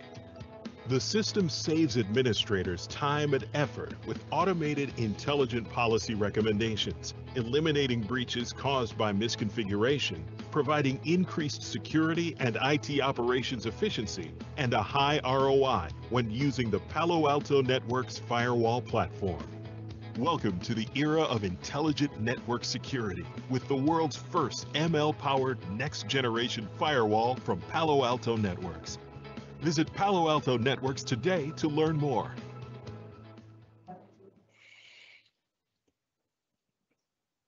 Ya, itulah tadi overview sekilas terkait dengan salah satu solusi NGFO ya dari Palo Alto dan tadi sudah dijelaskan juga kalau misalnya machine learning ini memang pertama di dunia ya yang punya Palo Alto ya. Oke, Pak Kurniawan atau Pak KDP nih, aku biar akrab katanya di kantor Lintas Arta dipanggil KDP ya Pak ya? Betul, betul. Pak KDP ya. Pak Kurniawan, uh, Tadi kan kalau Pak Ya sudah menjelaskan ya terkait dengan uh, fitur NGV atau uh, PA400 ya, 400 series. Mungkin dari Lintas Arta ada tambahan sedikit Pak? Ya, uh, betul sekali ya. Tadi di awal juga saya sempat sampaikan bahwa uh, kita uh, punya solusi yang kita sebut sebagai managed service ya. Hmm. Managed Security Service. Uh, jadi uh, tadi Pak Yo udah jelaskan keunggulan dari PA 400 seperti apa ya, uh, kecanggihan seperti apa. Tapi memang uh, dengan berbagai fitur tadi ya sayang sekali kalau nggak dioptimalkan mm -hmm. itu Mbak Rania dan mungkin uh, Bapak Ibu sekalian yang uh, menggunakannya juga mungkin butuh ada uh, orang yang yang memang bisa mengoperasikan yang apa namanya bisa melakukan uh, tuning, konfigurasi hmm. dan lain-lain. Nah untuk membantu itu semua Lintas Hata menyediakan managed security service sebenarnya. Okay. Jadi uh, Bapak Ibu baik lagi tadi itu nggak usah pusing-pusing gitu ya. Uh, tadi perangkatnya udah perangkat yang uh, sangat canggih nih ya hmm. dari Palo Alto. Nah kami yang akan melakukan uh, operationnya gitu nanti okay. ya. Uh, kami sudah punya tim yang memang uh, apa namanya certified lah ya hmm. dengan Palo Alto ini. Dan kami juga sebagai MSSP partner nih dari Palo Alto. Sehingga uh, mulai dari instalasi kemudian nanti monitoring ada perubahan polisi kemudian adanya service mutation dan lain-lain itu itu nanti akan akan kami handle Hmm. Termasuk juga kami juga menyediakan nanti uh, untuk preventive maintenance maupun okay. preventive maintenance uh, dan change request yang dibutuhkan. Jadi uh, anytime nanti ketika ada perubahan Bapak Ibu bisa tinggal uh, infokan ya. Nanti tim kami akan melakukan semuanya termasuk uh, melakukan perubahan-perubahan dibutuhkan agar sesuai dengan kebutuhan dari Bapak Ibu sekalian. Nah, ditambah lagi kami tadi juga sampaikan kita punya SOC nih, Mbak hmm. Rani ya. Dengan SOC itu tadi 24 kali 7 tim yang memang standby nih untuk monitor. Jadi kalau ada apa-apa, ada alert yang muncul dari perangkat yang 400. Nah, Bapak ya. Betul sekali. Nanti uh, kita akan langsung akan langsung muncul di monitoring kami. Hmm. Tim kami akan melakukan analisa ya. Kami kita punya analis L1, L2, L3 ya. Hmm. Yang hasil analisa itu tadi akan akan uh, kami olah ya. Hmm. Kemudian apa-apa yang perlu dilakukan nanti akan uh, kami infokan atau bisa juga uh, kami yang melakukannya juga gitu kan. Okay. Jadi memang uh, di sini uh, akan cukup komprehensif ya. Hmm. Jadi perangkatnya sudah uh, yang terbaik, uh, servisnya pun juga kami berikan yang terbaik. Okay. Jadi udah udah cukup lengkap. Harapan nanti bisa bisa saling melengkapi ya hmm. solusi yang tadi disampaikan dengan tambahan managed service yang ada dari Lintas Harta tadi. Oke. Okay, Itu sih Mbak Rani. Managed security service managed ya. Service. Jadi sudah dilayani 24 jam dengan teknologi yang luar biasa dari Palo Alto ditambah lagi diurusin juga ya. Diurusin juga. Pokoknya kalau kita KDP nih cyber security berat Bapak Ibu biar kami saja gitu ya. Karena 24 Betul, jam seminggu ya. Betul, anytime bisa terjadi okay. gitu ya serangan. Oke, okay, Pak Yos dan uh, Pak KDP tadi kita udah ngomong-ngomong masalah benefit, value, keuntungan ya. Nggak nggak nggak nggak absah dong ya, nggak valid kalau kita ngomong kira-kira kerugian apa aja sih yang mungkin terjadi nih kalau kita tidak menggunakan PA 400 seriesnya Palo Alto nih, khususnya di masa pandemi mungkin nih Bapak dan Ibu sekalian lagi yes. merasakan ya. Mungkin untuk Pak Yos dulu deh jawab Pak. Gimana ya. nih Pak? Ya ini anu sih ya, ini sebenarnya sebenarnya kebalikan dari dari benefit juga sih yang tadi kita sampaikan ya. Uh, kalau kerugiannya ya udah pasti uh, uh, rekan-rekan di sini mungkin customer-customer yang di sini ya mungkin nggak akan ngerasain yang namanya uh, uh, machine learning NGV itu seperti apa. Tapi kita nggak usah ngomong itunya dulu lah, karena sebenarnya yang concern utamanya adalah kita akan balik lagi ke ke uh, ke ke kenapa sih kita butuh NGV kan ya. Kita pasti balik lagi ke sana ke situ lagi sebenarnya. Masalah phishing masalah ransomware itu yang uh, sebenarnya uh, yang harus jadi concern utamanya kita. Karena rata-rata 75% dari attack itu biasanya masuknya dari phishing. Itu yang berbahaya. Nah kalau kita nggak punya uh, product security atau kita nggak punya istilahnya yang jagain ya uh, yang jagain kita di sisi internetnya itu kalau misalnya ada phishing mungkin kita nggak sengaja ngeklik bisa langsung otomatis ngeblok. Nah kalau kita nggak punya device atau perangkat seperti itu itu yang berbahaya. Karena otomatis akan baik-baik lagi ke uh, company punya operasional atau misalnya ransomware gitu misalnya ya uh, atau nggak usah ransomware lah ya misalnya uh, eh, CNC lah yang yang user rata-rata nggak pernah nggak pernah sadar bahwa dia itu sebenarnya udah ke infect, ke infect sama CNC malware misalnya. Jadi PC-nya itu sebenarnya udah jadi zombie, dia bisa di di di di remote dari luar. Nah, itu yang berbahaya. Nah, kalau itu kalau nggak bisa didetek, akhirnya dia kerja sehari-hari, dia pakai komputer sehari-hari, tapi ada orang yang melototin gitu. Dia pikir dia kerja pakai laptop itu pribadi, padahal ada yang ngawasin dia pakai laptop, itu yang berbahaya kan ya. Nah, kalau itu nggak punya tools, kita nggak punya device untuk kita bisa detect dan kita bisa melakukan blokir, maka sebenarnya ketika Anda kerja, itu Anda tidak kerja sendirian, ada orang yang ngawasin, ada orang yang liatin. Anda simpen file di mana, ada Anda simpen filenya apa, ditaruh di folder mana, dia tahu. Begitu nanti mungkin uh, uh, uh, mungkin uh, Anda mungkin misalnya atau misalnya rekan-rekan di sini ya misalnya mau ambil kopi atau apa gitu, ya dia remote lah visinya. Oh ini tidak ada orang nih ya, oke lah. Kira-kira aktivitinya lagi idle nih, berarti orangnya nggak nggak tahu perhatiin. Dia remote visinya dia mungkin explore ke mana, buka file, dia copy file dia exfiltrate data itu yang berbahaya. Ya kalau yang yang repot ya nanti ya kayak misalnya ransomware ya dia uh, begitu itu mungkin ada website uh, eh ada email kemudian ada linknya begitu dia klik dia menjalani virus attack dia download script akhirnya dia jalanin ransomware ya sudah akhirnya PC-nya nggak bisa dipakai itu yang berbahaya lah itu dari sisi uh, anu lah ya dari sisi feature-feature yang mungkin uh, yang itu penting banget lah untuk untuk untuk, untuk bisa dimiliki oleh Eh, customer-customer uh, baik yang enterprise besar ataupun enterprise kecil. Mungkin dari itu saja sih harusnya udah udah udah udah bisa jadi uh, rekan-rekan di sini tahu lah ya kalau kita nggak pakai uh, teknologi security yang memang udah proven uh, yang udah uh, leader di, di, di teknologinya uh, kita pakai mungkin yang uh, mungkin hanya network security biasa hanya pakai aksesoris biasa ya kita nggak bisa nggak nggak bisa punya security seperti itu sih itu yang uh, concern utamanya sih kenapa kalau misalnya kita nggak pakai uh, eh, NJV-nya Palo Alto atau nggak pakai NJV yang punya teknologi canggih itu seperti apa itu sih Mbak Rani. Oke Pak Yos, terima kasih banyak nih. Sudah lengkap sekali tadi ya pemaparan terkait uh, kira-kira potensi-potensi kerugian apa saja sih yang bisa muncul ya kalau nggak pakai uh, cyber security. Mungkin Bapak dan Ibu sekalian kira-kira udah siap belum nih menghadapi ancaman-ancaman tersebut? Mungkin bisa jadi considerations atau pertimbangan untuk semakin aware lagi terhadap cyber security ya. Nah, kalau tadi ngomongin dari segi produk ya atau teknologi uh, dari segi Palo Alto, kalau misalnya dari segi services nih, Pak uh, Lintas Arta kira-kira kerugian apa saja sih kalau misalnya kita misalnya pakai implementasi firewall-nya aja tanpa ada yang manage service tadi ya Pak ya, hmm. SOC tadi ya. Kira-kira apa tuh Pak? Ya, ya betul sekali Mbak Rani ya. Jadi memang uh, ini pilihan ya sebenarnya ya. hmm. apakah Bapak Ibu sekalian ini akan uh, on ya atau memiliki hmm. jadi mengembangkan semua sendiri atau manage service. Hmm. Nah, pilihannya seperti itu.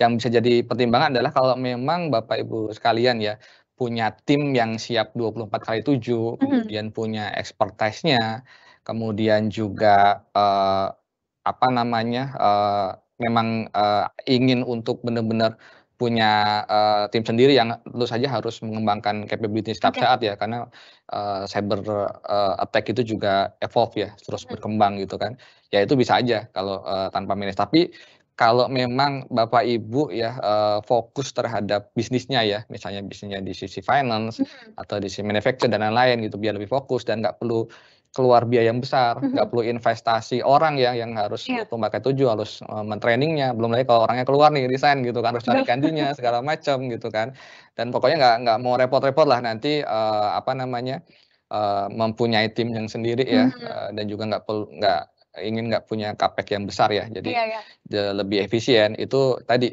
bisa uh, menggunakan solusi yang minus uh, security service tadi, apalagi ditambah dengan uh, SOC ya. Karena kalau tanpa SOC kita kita bicara tentang uh, kekurangannya ya. Kalau kalau tanpa manage dan tanpa SOC ya uh, tadi sih nggak akan bisa mendapatkan uh, postur keamanan yang lengkap nih sebenarnya apa yang terjadi di dalam networknya ya. Taunya uh, udah pasang firewall aja, udah selesai gitu kan. Hmm. Tapi dia nggak akan dapat 24 kali 7 monitoringnya okay. gitu. Uh, maupun juga nanti korelasi nih terhadap event-event uh, yang ada. Hmm. Taunya oh ini tadi ada yang coba masuk nih, tapi sebenarnya dia nyerang mana sih gitu kan, okay. uh, dan nggak dapet suggestion kira-kira apa yang harus uh, dilakukan ya uh, dengan uh, SOC yang Lintas miliki ya. Kami punya analis yang memang sudah berpengalaman ya, mm -hmm. uh, sudah certified juga.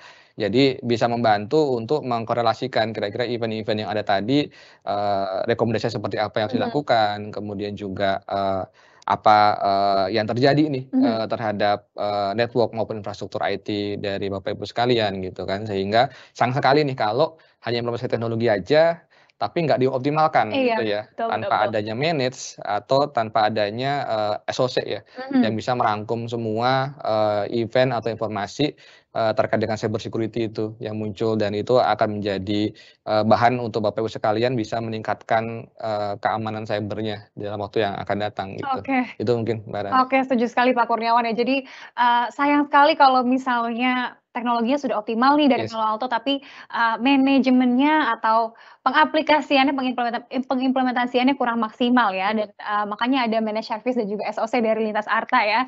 Oke, saya rasa sudah sangat lengkap sekali penjelasannya ya terkait dengan kolaborasi antara uh, Palo Alto Networks dan juga Lintas Arta. Mungkin selanjutnya saya mau jadi segi konsumen nih Pak. Mau langsung saya tembak aja pertanyaan Siap, selanjutnya. siap. Kira-kira dari Palo Alto Networks dan juga Lintas Arta nih, Pak Yos, Pak KDP, ada promo nggak sih atau trial nih yang bisa mungkin disediakan untuk audiens di sini ya? Pengen tahu nih mungkin kita ya. Langsung aja nih Pak. Pak Yos mungkin mau bantu jawab Pak? Benar-benar. Eh, ngomongin promo ya, itu sebenarnya aneh sih. Karena sebenarnya kita juga udah kerjasama sama Lintas Sarta untuk promonya ya. Karena ya eh, promonya sebenarnya bandel dengan eh, servisnya Lintas Sarta sih. Karena bisa dibilang itu kalau kita punya senjata yang canggih, kalau kita punya senjata yang bagus, eh, tapi eh, resources untuk yang operasionalnya itu kurang optimal ya akibatnya senjatanya kurang optimal untuk bisa dipakai Mhm. kan ya. Jadi memang kita memang bandel dengan eh, servicesnya dari Tasarta. Jadi ya promonya itu sih bandelnya sama servicesnya Tasarta. Karena devices sama resources itu harus digabung jadi satu supaya benar-benar optimal. Itu sih. Oke, mungkin kita tembak Pak KDP deh langsung Ya. deh Pak. Jelasin deh Pak promonya Ya, ya, gimana ya. nih ya. Eh, yang Rani betul sekali ya, Pak Yoyo. Jadi memang eh, senjata yang canggih, yang tepat itu harus dioperasikan oleh orang yang tepat juga Mhm. gitu kan, sehingga bisa benar-benar optimal. Makanya di sini kami membundling ya solusi Palo Alto P400 series itu tadi dengan SOC kami. Karena tadi saya udah cukup banyak cerita ya tentang SOC, kita punya analis dan segala macam. Jadi eh, eh, firewall dari NGFW-nya dari Palo Alto ini nanti ini kita banding dengan dengan SOC kami eh, dengan mesh service dengan SOC yang mana SOC ini nanti akan bisa mendapatkan eh, apa namanya input ya akan Mhm. bisa eh, ngambil alat dan segala macam dari Palo Alto plus dari perangkat-perangkat yang lain yang dimiliki oleh Bapak Ibu sekalian gitu ya. Jadi eh, nggak hanya bisa dipakai untuk perangkat Palo Alto P400 ini tapi juga perangkat-perangkat yang lain nanti bisa juga dimasukkan ke dalam eh, SOC kami ini. Hmm, Seperti itu. oke. Jadi akan lebih lengkap nih. Jadi di sini ada firewall, mungkin di sini nanti ada eh, UTM-nya Mhm, misalnya atau mungkin ada ada WAF-nya gitu kan ya. Sehingga itu nanti bisa diolah sama-sama untuk menjadi suatu eh, kesimpulan ya. Sebenarnya apa yang terjadi dan apa yang harus dilakukan. Dan tadi dari sisi bandingnya ya. Kalau dari sisi sisi harganya pun juga kita punya offer yang cukup menarik nih eh, Oke. Mbak Rani ya untuk eh, banding antara Palo Alto eh, P400 ini dengan SOC Mhm. di mana bisa memberikan keuntungan juga dari sisi finansial. Oke. Jadi eh, dengan bundling ini eh, akan bisa eh, hemat sampai dengan 50% nih. Hmm, Eh, oke, sampai secara dengan 50% ya Pak ya? betul secara harga. Jadi jadi eh, sangat besar sekali ya manfaatnya dari sisi finansial bisa dapat keuntungan eh, 50% ya setengah harga lah Hmm, kalau seperti itu ya. Dan secara tadi ya kita bicara tentang niche ya framework niche ya eh, NST ya identify, prevent, eh, detect, respond dan recover. Dengan bundling ini dia udah bisa mengcover tiga nih Hmm, minimal tiga nih dari lima. Jadi udah eh, 60% sebenarnya postur keamanan cyber itu bisa terpenuhi dengan adanya eh, bundling ini. Jadi nggak cuman sekedar eh, dari sisi finansial ya dapat keuntungan, dari sisi postur keamanan pun juga akan meningkat gitu ya. Dan ini memang eh, sangat erat kaitannya ya antara eh, NGFW-nya Palo Alto ini dengan SOC sehingga eh, begitu dikawinkan itu Mhm. udah udah sangat melengkapi ya Iya, saling betul betul. saling melengkapi sehingga nanti eh, secara TCO pun juga bisa lebih lebih baik ya, lebih murah ya. Karena eh, beli satu dapat banyak keuntungan ya. Betul Dan betul. apalagi bisa di di-combine nih, di-combine dengan eh, perangkat-perangkat yang lain jadi yang sudah dimiliki karena kita juga punya opsi terkait dengan message per second ya atau Mhm. event per second. Jadi ada dari 200, 300, 400 message per second yang nanti dibanding dengan masing-masing seri dari PA400-nya Palo Alto Palo tadi. Alto ya. Itu sih Mbak Rani Oke, menarik bundlingnya. sekali ya. Uh, penawarannya penawaran bundlingnya terutama ya. Jadi uh, terima kasih banyak nih untuk Pak Yos dari Palo Alto, Pak Kurniawan atau Pak KDP dari Lintas Arta informasinya sudah sangat lengkap dan semoga tentunya dapat memberikan gambaran kepada Bapak dan Ibu sekalian para peserta webinar ini terkait pentingnya cyber security di masa saat ini ya. Dan pastinya sebagai informasi ini untuk Bapak dan Ibu sekalian audiens yang mungkin mau berlangganan PA400 melalui Lintas Arta pastinya value-nya lebih tinggi dibandingkan vendor-vendor lainnya ya. Saya bisik-bisik aja deh supaya nggak kedengeran nih. Jadi pastinya value lebih besar dan tadi sudah sudah dijelaskan juga oleh Pak uh, eh, KDP juga terkait dengan kira-kira keuntungannya apa saja ya. Oke, terima kasih banyak Pak Yos, Pak Kurniawan, Sama -sama. Pak KDP. Terima kasih banyak. Sama -sama. Sehat selalu. Semoga kita ketemu lagi di sesi-sesi selanjutnya ya. Siap, siap. Oke, Bapak dan Ibu sekalian, uh, para peserta dari webinar lintas, lintas arta kali ini tentunya mungkin aku akan samap dikit ya. Jadi uh, tentunya dengan adanya webinar uh, kali ini semoga Bapak dan Ibu sekalian dapat menyadari betapa pentingnya nih uh, perusahaan kita ditantang untuk tetap bisa beradaptasi dalam menjawab kebutuhan cyber security di saat kondisi seperti ini ya. Meskipun di saat kondisi pandemik dan tentunya kondisi market saat ini ditambah lagi transformasi digital yang semakin menggila ya terutama di Indonesia, penting untuk uh, perusahaan Bapak dan Ibu sekalian catch up atau beradaptasi dengan cyber security saat ini ya. Dan tentunya pentingnya upgrade sistem cybersecurity diawali dari firewall untuk mencegah terjadinya data breach yang diakibatkan oleh perkembangan cyber threat tadi yang mungkin sudah dijelaskan oleh Pak Yos dan Pak KDP juga. Uh, selanjutnya pentingnya juga mendapatkan deep visibility into your network security dengan bundling tentunya dengan SOC seperti yang tadi sudah dijelaskan oleh Pak KDP terkait dengan SOC uh, services yang ditawarkan oleh Lintas Arta. Dan pentingnya juga daily operational dan juga maintenance dari customer untuk menjaga data perusahaan 24 jam sehari 24 jam seminggu ya semuanya 24 jam pokoknya biar kita aja yang begadang. Bapak dan Ibu sekalian bisa tidur di rumah dengan nyaman. Yang terakhir pentingnya pemanfaatan teknologi yang tepat guna dan sesuai serta affordable pastinya ya. Bisa membantu perusahaan untuk survive dan beradaptasi dengan baik dalam situasi pandemi seperti saat ini. Wah lengkap sekali. Dan tentunya uh, Bapak dan Ibu sekalian di sisi lain sebagai ICT company Lintas Arta juga siap berkolaborasi yang mana memiliki beberapa teknologi solutions khususnya cyber security menjaga tingkat produktivitas dan peningkatan performa ICT perusahaan Bapak dan Ibu sekalian. Di antaranya kami juga memiliki PA 400 Bapak dan Ibu sekalian uh, yang tentunya dapat membantu perusahaan Bapak dan Ibu sekalian dalam survive ya di kondisi market saat ini. Oke, mungkin selanjutnya yang sudah ditunggu-tunggu oleh Bapak dan Ibu sekalian, kita tadi sudah menjanjikan akan ada uh, akan ada hadiah, akan ada Q&A juga. Namun sebelumnya kita menuju ke Q&A terlebih dahulu ya.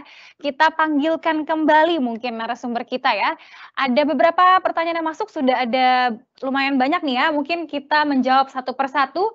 Ada lima pertanyaan yang masuk nih. Yang pertama pertanyaan dari Tony Iswanto kepada Pak Yos kali ini ya. Pertanyaan untuk Palo Alto. Palo Alto apakah ada fitur web application uh, firewall? Apabila ada dibandingkan kompetitor yang lain, keunggulannya Palo Alto apa saja sih Pak? Terima kasih. Pak Yos, langsung ditanya tuh keunggulannya apa aja tuh?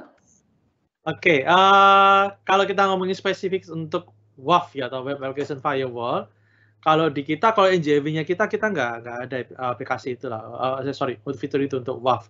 Uh, karena biasanya WAF itu Web Application Firewall itu butuh dedicated device sendiri yang itu ditaruh di depannya web server. Cuman kalau kita ngomongin untuk WAF itu karena sekarang itu user-user itu udah banyak yang migrate ya dari VM uh, kemudian ke arah kontainer. Nah, kalau misalnya uh, Bapak udah misalnya udah mulai migrate ke arah kontainer, udah pakai container services, sudah pakai Docker, uh, kemudian udah pakai Kubernetes gitu ya. Nah, itu juga biasanya butuh security-nya juga. Nah, kalau buff-nya Palo Alto itu ditanam di situ. Jadi bukan JNJV-nya. Kalau JNJV-nya lebih lebih lebih cover di sisi uh, DMZ security-nya. Karena kan kalau biasa Bapak butuh WAF, berarti kan berarti Bapak punya server yang dipublish ke internet kan ya. Nah, di sisi layer di edge-nya atau di DMZ-nya itu berarti kita bisa secure pakai NGW-nya Palo Alto. Berarti untuk IDS-nya, untuk threat prevention-nya ya, untuk firewall-nya dari situ. Kemudian di layer di dalamnya, maka kalau misalnya Bapak udah menerapin container services, itu kita ada NGW yang CN series untuk nambah layer lagi di depannya lagi sebelum masuk ke container. Atau kalau misalnya udah udah udah nerapin container, misalnya udah nerapin container ya, di dalam kontainernya itu kita bisa install namanya itu Prisma Cloud. Ada Prisma Cloud. Nah, salah satu fiturnya Prisma Cloud ini sorry ini agak agak melenceng bahasanya dari NJW ya. Di dalam satu satu fiturnya Prisma Cloud itu ada namanya itu uh, uh, CWP atau Cloud Workload Protection. Itu berhubungan dengan container security.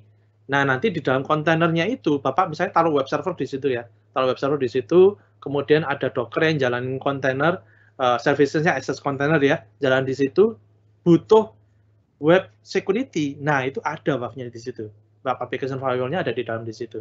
Cuma memang lebih spesifik, uh, kita target marketnya ya customer yang udah udah banyak nerapin kontainer ya. Tapi kalau misalnya masih pakai uh, server fisik, terus uh, uh, uh, aplikasinya juga jalan as a server fisik di situ atau VM biasanya kita secure di level uh, uh, perimeternya perimeternya pakai NGFW Bapak punya WAF dedicated yang lain mungkin F5 dan sebagainya bisa tanya uh, bisa tanyakan dari data taruh uh, uh, model model positioningnya seperti itu NGFW di perimeter kemudian ditaruh di WAF kemudian baru web server nanti kan uh, dari IP-nya kan bisa di uh, redirect ke atau pakai explicit ya, explicit ke arah WAF-nya. Modelnya seperti itu sih. Tapi kalau udah pakai kontainer, butuh WAF, bisa pakai Prisma Cloud. Nah, di situ ada WAF-nya di situ sih. Oke, okay. terima kasih banyak Pak Yos jawabannya. Semoga dapat membantu menjawab ya pertanyaan dari Bapak Tony Iswanto. Pertanyaan kedua selanjutnya dari Bapak Agus Sumarno. Ini pertanyaannya ada empat ya. Mungkin untuk Pak Yos lagi nih ya. Apakah Palo Alto bisa berjalan bareng dengan security merek lain dan bagaimana dalam mengimplementasinya? Yang kedua, apakah dalam maintenance harus dilakukan downtime? Yang ketiga, apakah dashboard Palo Alto memudahkan dalam pengoperasian? Dan yang terakhir, apa keunggulan Palo Alto dengan security merek lain? Mungkin Pak Yos kalau lupa-lupa nanti boleh tanya ke saya lagi Pak pertanyaannya. Silakan Pak. Sorry, saya muter tadi. Uh, jadi kalau misalnya kita ngomongin uh, Palo Alto secara produk ya, ada dashboardnya, kemudian integrasi ke perangkat lain, kalau misalnya rekan-rekan di sini um, integrasinya seperti ini, karena ada beberapa perangkat yang bisa diintegrasikan. Ada di ada di kita tuh ada namanya kotak SDR, terus kemudian ada SOAR. Kita ngomongin kotak SDR dua sedikit ya untuk integrasi ya. Uh, kalau misalnya integrasi dengan vendor lain, kalau kita punya kotak SDR itu kita ada namanya itu auto correlation untuk kita bisa dapat alert dari uh, eh, NGFW brand lain terpati, tapi masih limited.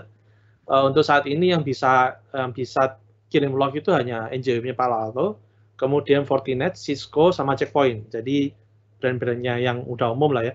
Sekali lagi saya, saya ulang, Palo Alto sendiri udah pasti, Fortinet, Checkpoint, sama Cisco. Nah itu ada namanya, uh, kita punya solusi, punya solusi namanya Cortex SDR, itu lebih ke arah endpoint security sebenarnya.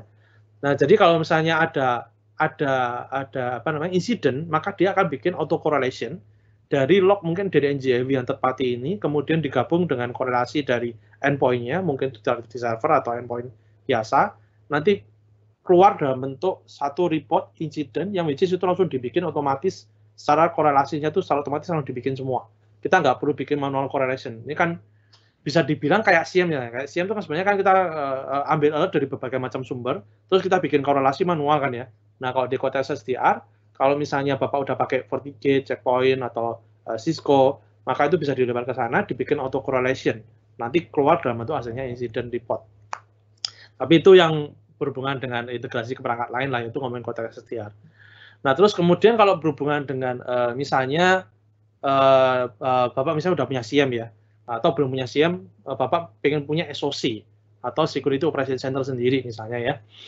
Nah, di kita tuh ada namanya tuh Cortex uh, XSOAR, yang which is itu benar-benar khusus untuk SOAR atau Security Orchestration Automation, Automation Response, panjangannya kan itu kan ya. Kalau dari berbagai dari berbagai macam perangkat security itu ada integrasinya ke SOAR ke hampir 150 eh, lebih malah uh, lebih lebih lebih dari itu deh malah lebih dari itu hampir ratusan lah, ratusan uh, vendor yang bisa integrasi ke SOAR yang which is nanti itu bisa kita ambilkan dalam bentuk dashboard terus nanti kita bisa bikin automationnya dalam bentuk playbook. Cuman ini benar-benar solusi yang advance lah.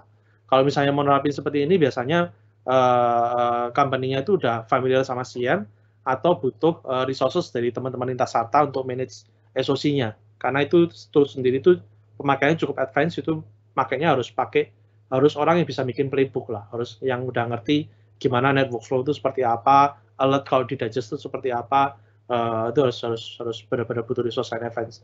Makanya kalau misalnya teman-teman di sini tertarik ke situ mesti konsultasi ke teman-teman lintas data lagi kalau yang itu. Itu dari sisi integrasi ya. Kemudian kalau dari sisi dashboard, kalau misalnya Bapak uh, atau rekan-rekan di sini punya banyak NGMV, kita tuh ada punya namanya tuh panorama untuk kita bisa single single manage, kita uh, monitor termasuk reporting juga kita uh, punya centralized management, reporting sama monitoring ada namanya panorama. Jadi kalau punya NJV-nya banyak, itu juga bisa di manage secara centralized. Dashboardnya nggak akan beda jauh, dashboardnya mirip dengan NJV, cuma bedanya dia bisa manage uh, untuk centralized NJV ya. Tapi kalau saran saya, kalau misalnya branch-nya udah banyak, ada services dari lintas sata ya selain sama lintas sata aja lah. Biar lebih tidurnya nyala. itu sih. Ada yang miss nggak ya saya dari dari pertanyaannya? Harusnya menjawab ya. Saya rasa sudah terjawab semua ya, sudah lengkap ya. jawabannya. Terima kasih banyak Pak Yos. Semoga dapat membantu ya Pak Agus Sumarno ya. Selanjutnya ke pertanyaan ketiga dari Bapak Jamie Hermawan dari Bank Supra. Selamat siang, belakangan ini saya banyak sekali belakangan ini banyak sekali cara-cara pengambilan data lewat internet, salah satunya lewat email phishing. Yang ingin saya tanyakan bagaimana cara firewall untuk membedakan email phishing dan email non phishing. Mungkin bisa dibantu jawab kembali Pak Yos. Ya, ah ini ini, ini menarik nih. bedanya kita caranya bedain antara email phishing sama bukan uh, sama yang uh, eh, non phishing lah ya, yang legitimate sama yang bukan ya. Nah, ini kan tetap ini berhubungan lagi sama uh, uh, NJW itu uh, security-nya itu fiturnya seperti apa. Nah, kalau di kita tuh ada namanya advanced URL filtering itu udah pasti. Itu udah pasti sangat membantu sekali lah ya. Karena dari situ aja kita udah dari dari machine learning dan kemudian kita punya signature database itu udah udah ketahuan dulu tuh at least uh, apakah kalau misalnya ada phishing itu masuk ke bad domain apa bukan dari dari dari uh, apa kemudian IP apa bukan itu udah ketahuan dulu. Filternya dari situ. Kemudian juga NJV-nya kita kita juga bisa terkoneksi sama uh, kita punya threat intelligence juga ya. Jadi kalau misalnya seandainya uh, dari informasi threat intelligence kita udah udah punya sumbernya, udah ketahuan bahwa ini ternyata malicious, udah pasti kita blokir. Kemudian kalau dari URL kategori juga kalau misalnya dia masuk kategorinya unknown, karena kan yang kita udah filter dulu ya, mana kategorinya unknown, mana kategori unknown. Kalau misalnya kategorinya unknown, kita bisa bisa bikin juga default policy-nya itu kita bisa block bukan hanya itu aja, termasuk sampai kalau misalnya anggaplah uh, uh, link tersebut Bapak misalnya mau klik gitu ya, terus kemudian tidak ketahuan malicious apa enggak, dia pasti juga akan nanya ke sandbox. Kita kalau misalnya dari sisi machine learning nggak dapat, dari sisi yang nggak dapat, data data mungkin nggak dapat, maka dia akan nanya ke dulu ke sandbox, apakah dari dari hasil hasilnya sandbox ini ketahuan malicious apa enggak. Biasanya dari di situ langsung ketahuan, karena dari sandbox itu bisa langsung ngecek oh ternyata URL ini bermasalah. Begitu bermasalah, langsung NJV-nya bisa ngeblok. Jadi sebenarnya uh, selama Bapak pakai NJV-nya itu, fitur-fiturnya yang dinyalakan komplit dan sesuai best practice, most likely, meskipun kita nggak, nggak bisa jamin 100% ya, karena nggak ada security vendor yang bisa jamin 100% bahwa uh, Bapak nggak mungkin kena phishing, nggak mungkin kena ransomware, nggak mungkin. Tapi at least tingkat kita kena, uh, chance kita untuk kena phishing, chance kita untuk uh, kena ransomware, itu akan semakin kecil. Nah, cuman yang penting itu itu lagi sebenarnya balik lagi ke gimana kita uh, implementasinya itu di NJF-nya kita itu apakah sesuai best practice best practice atau belum? Kalau misalnya kita punya resources mungkin uh, terlalu familiar sama NJV, better pakai resources ya, yang udah ada yang mungkin di sini udah ditawarkan juga sama teman-teman Tata dari bandingnya MSSW tersebut. Karena dari sisi resources itu yang bisa nerapin uh, perspektif juga bagusnya seperti apa kita terapin policy di NGFV itu sih. Oke, itu terima kasih banyak Pak Yos. Sudah lengkap sekali jawabannya ya. Semoga dapat membantu pertanyaan dari Bapak Jamie Hermawan. Pertanyaan selanjutnya yang keempat mungkin kita pindah ke Pak KDP, Pak Kurniawan. Dari Gidaru, pertanyaan untuk Lintas Arta. Perusahaan kami sudah implementasi firewall dari tahun 2019. Dan sejauh ini kami rasa masih aman. Apakah implementasi SOC masih perlu, Pak? Gimana nih, Pak? Ya, uh, ngasih Mbak Rani, Pak Gidaru, terima kasih untuk pertanyaannya ya, sangat bagus sekali ya. Jadi memang uh, betul sekali saat ini uh, banyak yang merasa dengan implementasi firewall itu sepertinya sudah aman kan karena tidak pernah ada case-case atau ada kejadian-kejadian ya terkait dengan security atau security mhm. breach yang tadi. Tapi sebenarnya kalau kita lihat uh, ada uh, istilah security yang mungkin kita nggak tahu nih karena mungkin uh, mereka melakukannya secara diam-diam atau nggak terdeteksi oleh firewall gitu kan ya atau mungkin memang nggak terpublish nih karena digunakan untuk kepentingan-kepentingan tertentu gitu kan kita juga nggak tahu karena kalau kita lihat case-case di luar banyak juga yang mereka tahunya itu setelah datanya itu uh, beredar di luar hmm. ya karena melihatnya firewall itu baik-baik aja nih, nggak mendeteksi adanya apa pun gitu. Nah, itu justru yang yang yang lebih berbahaya sebenarnya Mbak Rani ya uh, dan Pak Gidaro. Jadi uh, kita merasa aman, padahal sebenarnya nggak aman gitu ya. Mm -hmm. Jadi uh, di situ perlunya kalau kita tadi implementasikan salah satunya dengan SOC sehingga punya deep visibility kita sebutnya. Karena SOC itu tadi uh, akan memonitor uh, tadi ya 24 kali 7 terhadap semua event, semua log, semua uh, message ya yang yang muncul nih hmm. dari perangkat-perangkat network nggak cuman uh, firewall ya, tapi perangkat-perangkat lainnya uh, kita sebut perangkat IT dan OT ya. Perangkat-perangkat IT uh, seperti perangkat-perangkat yang uh, Bapak Ibu uh, gunakan di sisi IT ya maupun perangkat yang berhubungan dengan bisnisnya masing-masing -hmm. uh, perangkat uh, perangkat OT.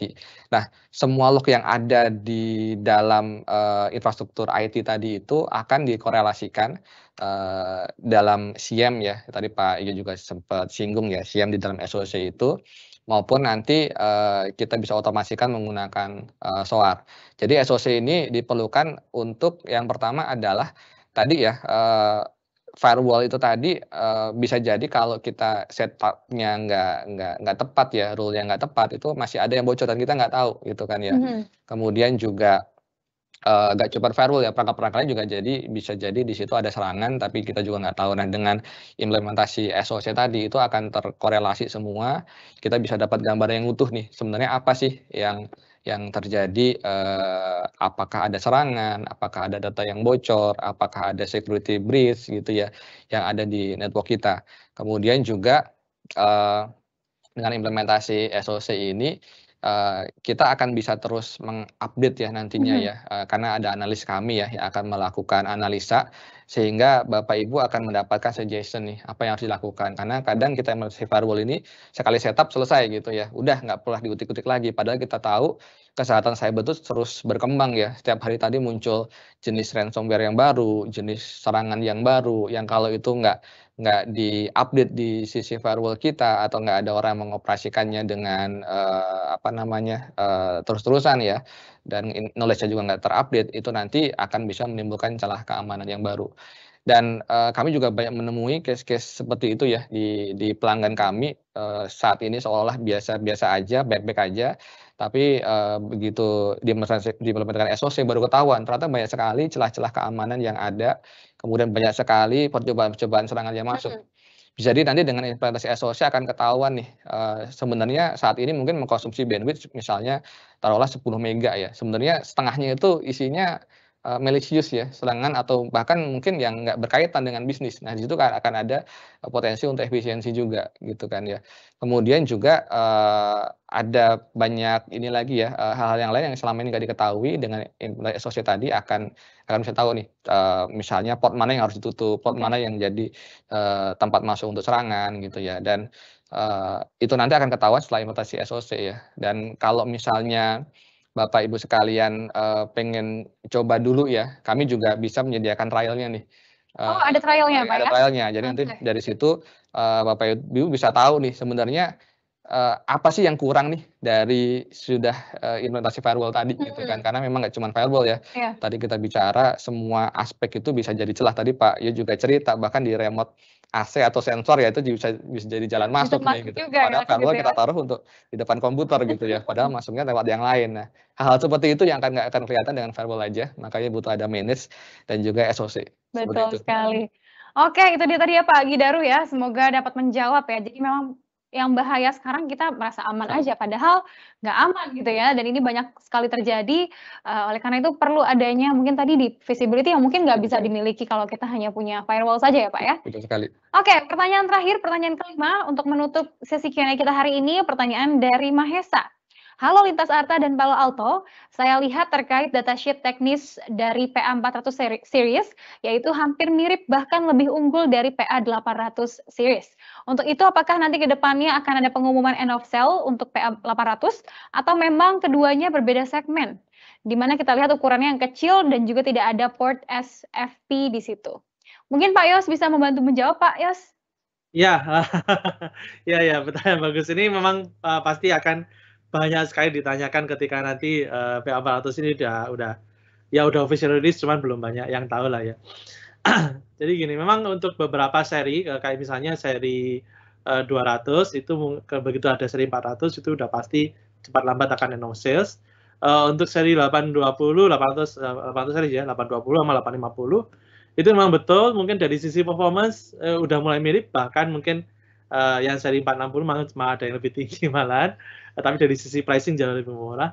Uh, kita terus terang untuk roadmap-nya memang belum tahu ke depannya apakah nanti mau mau di no sales atau keluar yang generation 2-nya. Jadi mungkin 820 generation 2 atau 850 generation 2 kita belum tahu. Roadmap-nya belum ada.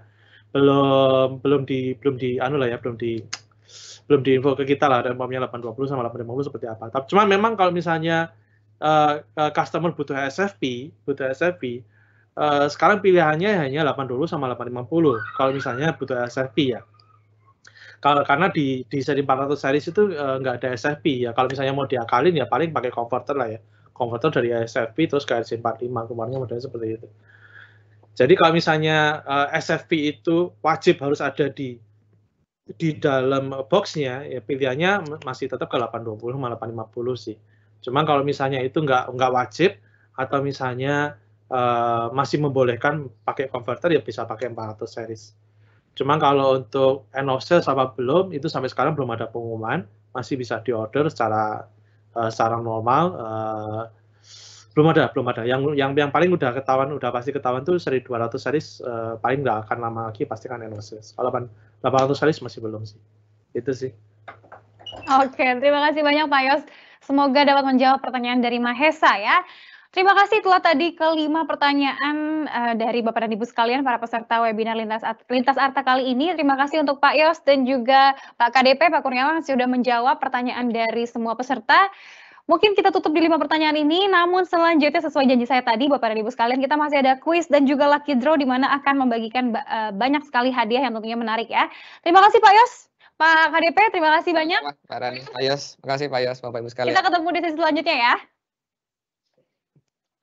Oke, Bapak dan Ibu sekalian, para peserta dari webinar Lintas Arta, selanjutnya sesuai janji saya tadi, kita akan menuju ke sesi quizzes ya.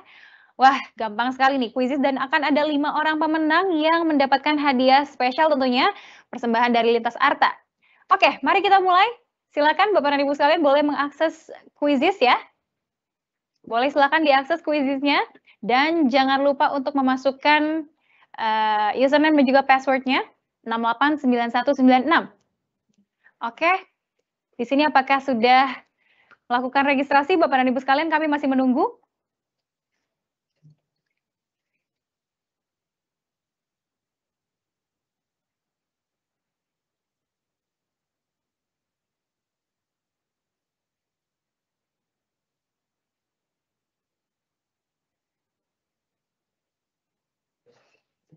Oke, sedikit informasi Bapak dan Ibu sekalian, kita akan melakukan sesi quizzes ya, kita akan bermain game sedikit, quiz sedikit, dan nanti pemenangnya akan ada tiga orang pemenang yang mendapatkan hadiah tentunya menarik dari Lintas Arta.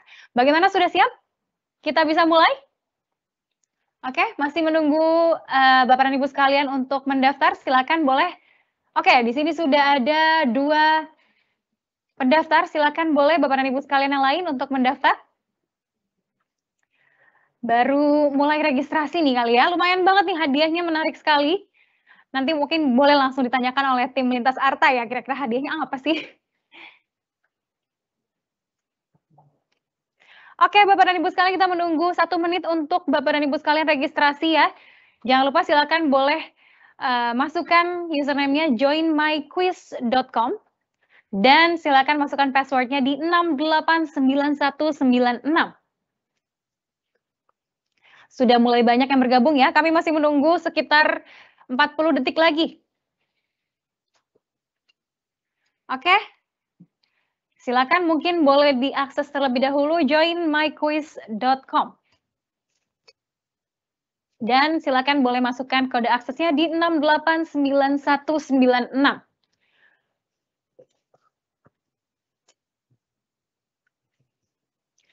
Sambil menunggu Bapak dan Ibu sekalian registrasi, mungkin saya ingin mengingatkan kepada Bapak dan Ibu para peserta dari webinar Lintas Arta kali ini, jangan lupa untuk mengisi kuesioner yang akan kami sediakan, mungkin nanti akan diinformasikan oleh tim Lintas Arta. Karena apa? Karena 10 orang yang beruntung akan mendapatkan saldo OVO atau GoPay dengan cara mengisi kuesioner yang nanti kami sediakan. Oke, kita mulai kuisisnya dari sekarang.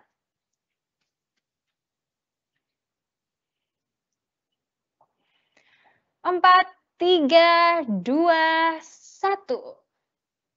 Silakan Bapak dan Ibu sekalian.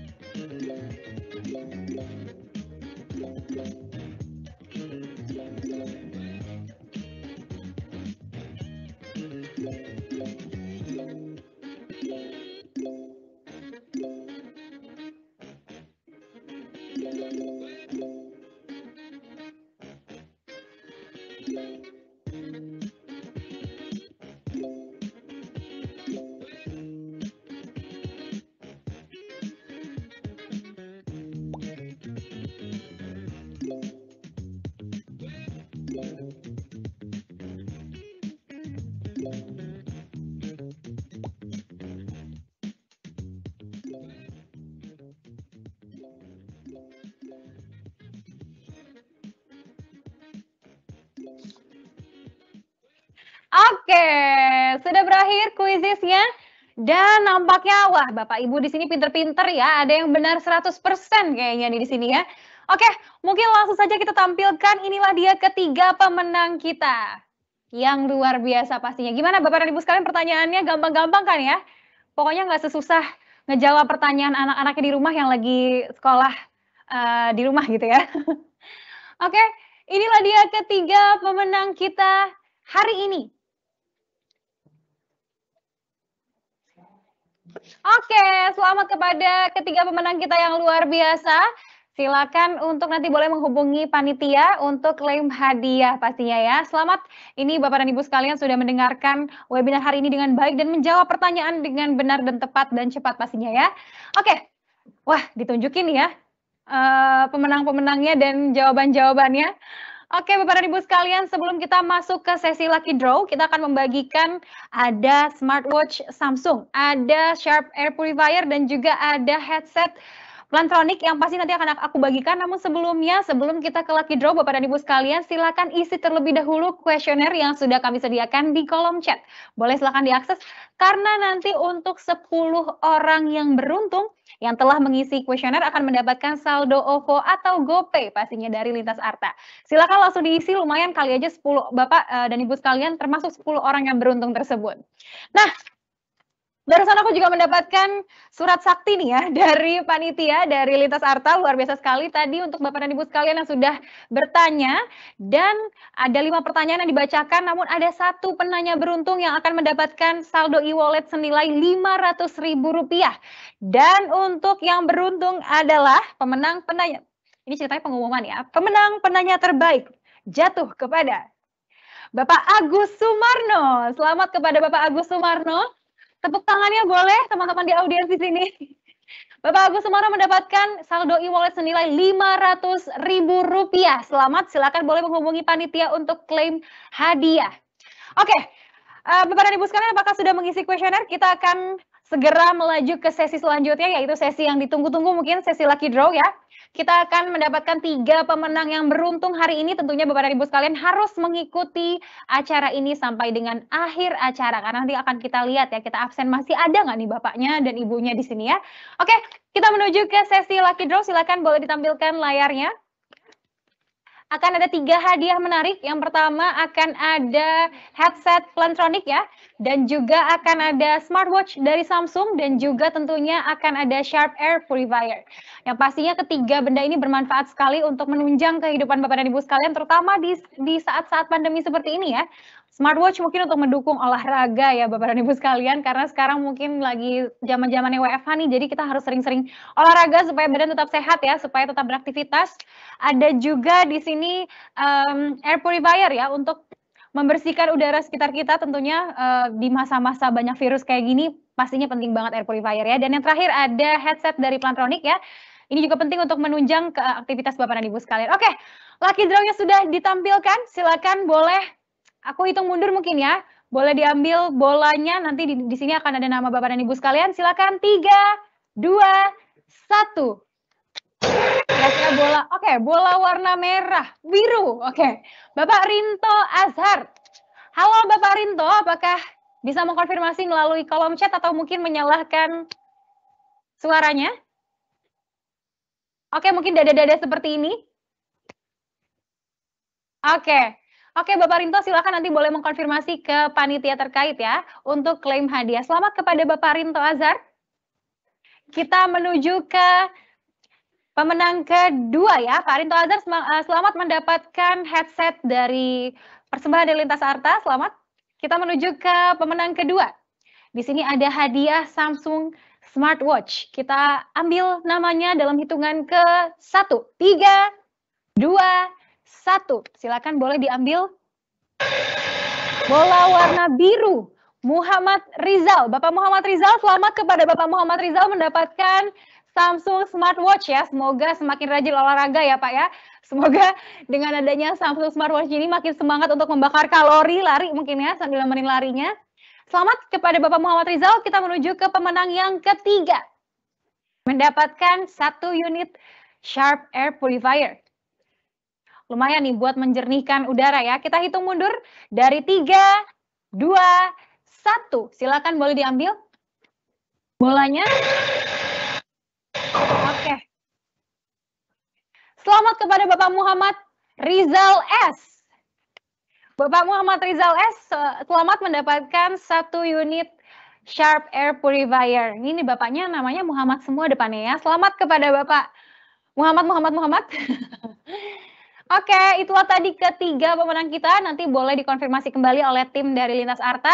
Dan Bapak dan Ibu sekalian, para pemenang silakan menghubungi panitia untuk klaim hadiah. Sekali lagi saya ucapkan selamat dan tentunya Bapak dan Ibu sekalian tidak terasa kita sudah sampai di penghujung acara webinar Lintas Arta kali ini.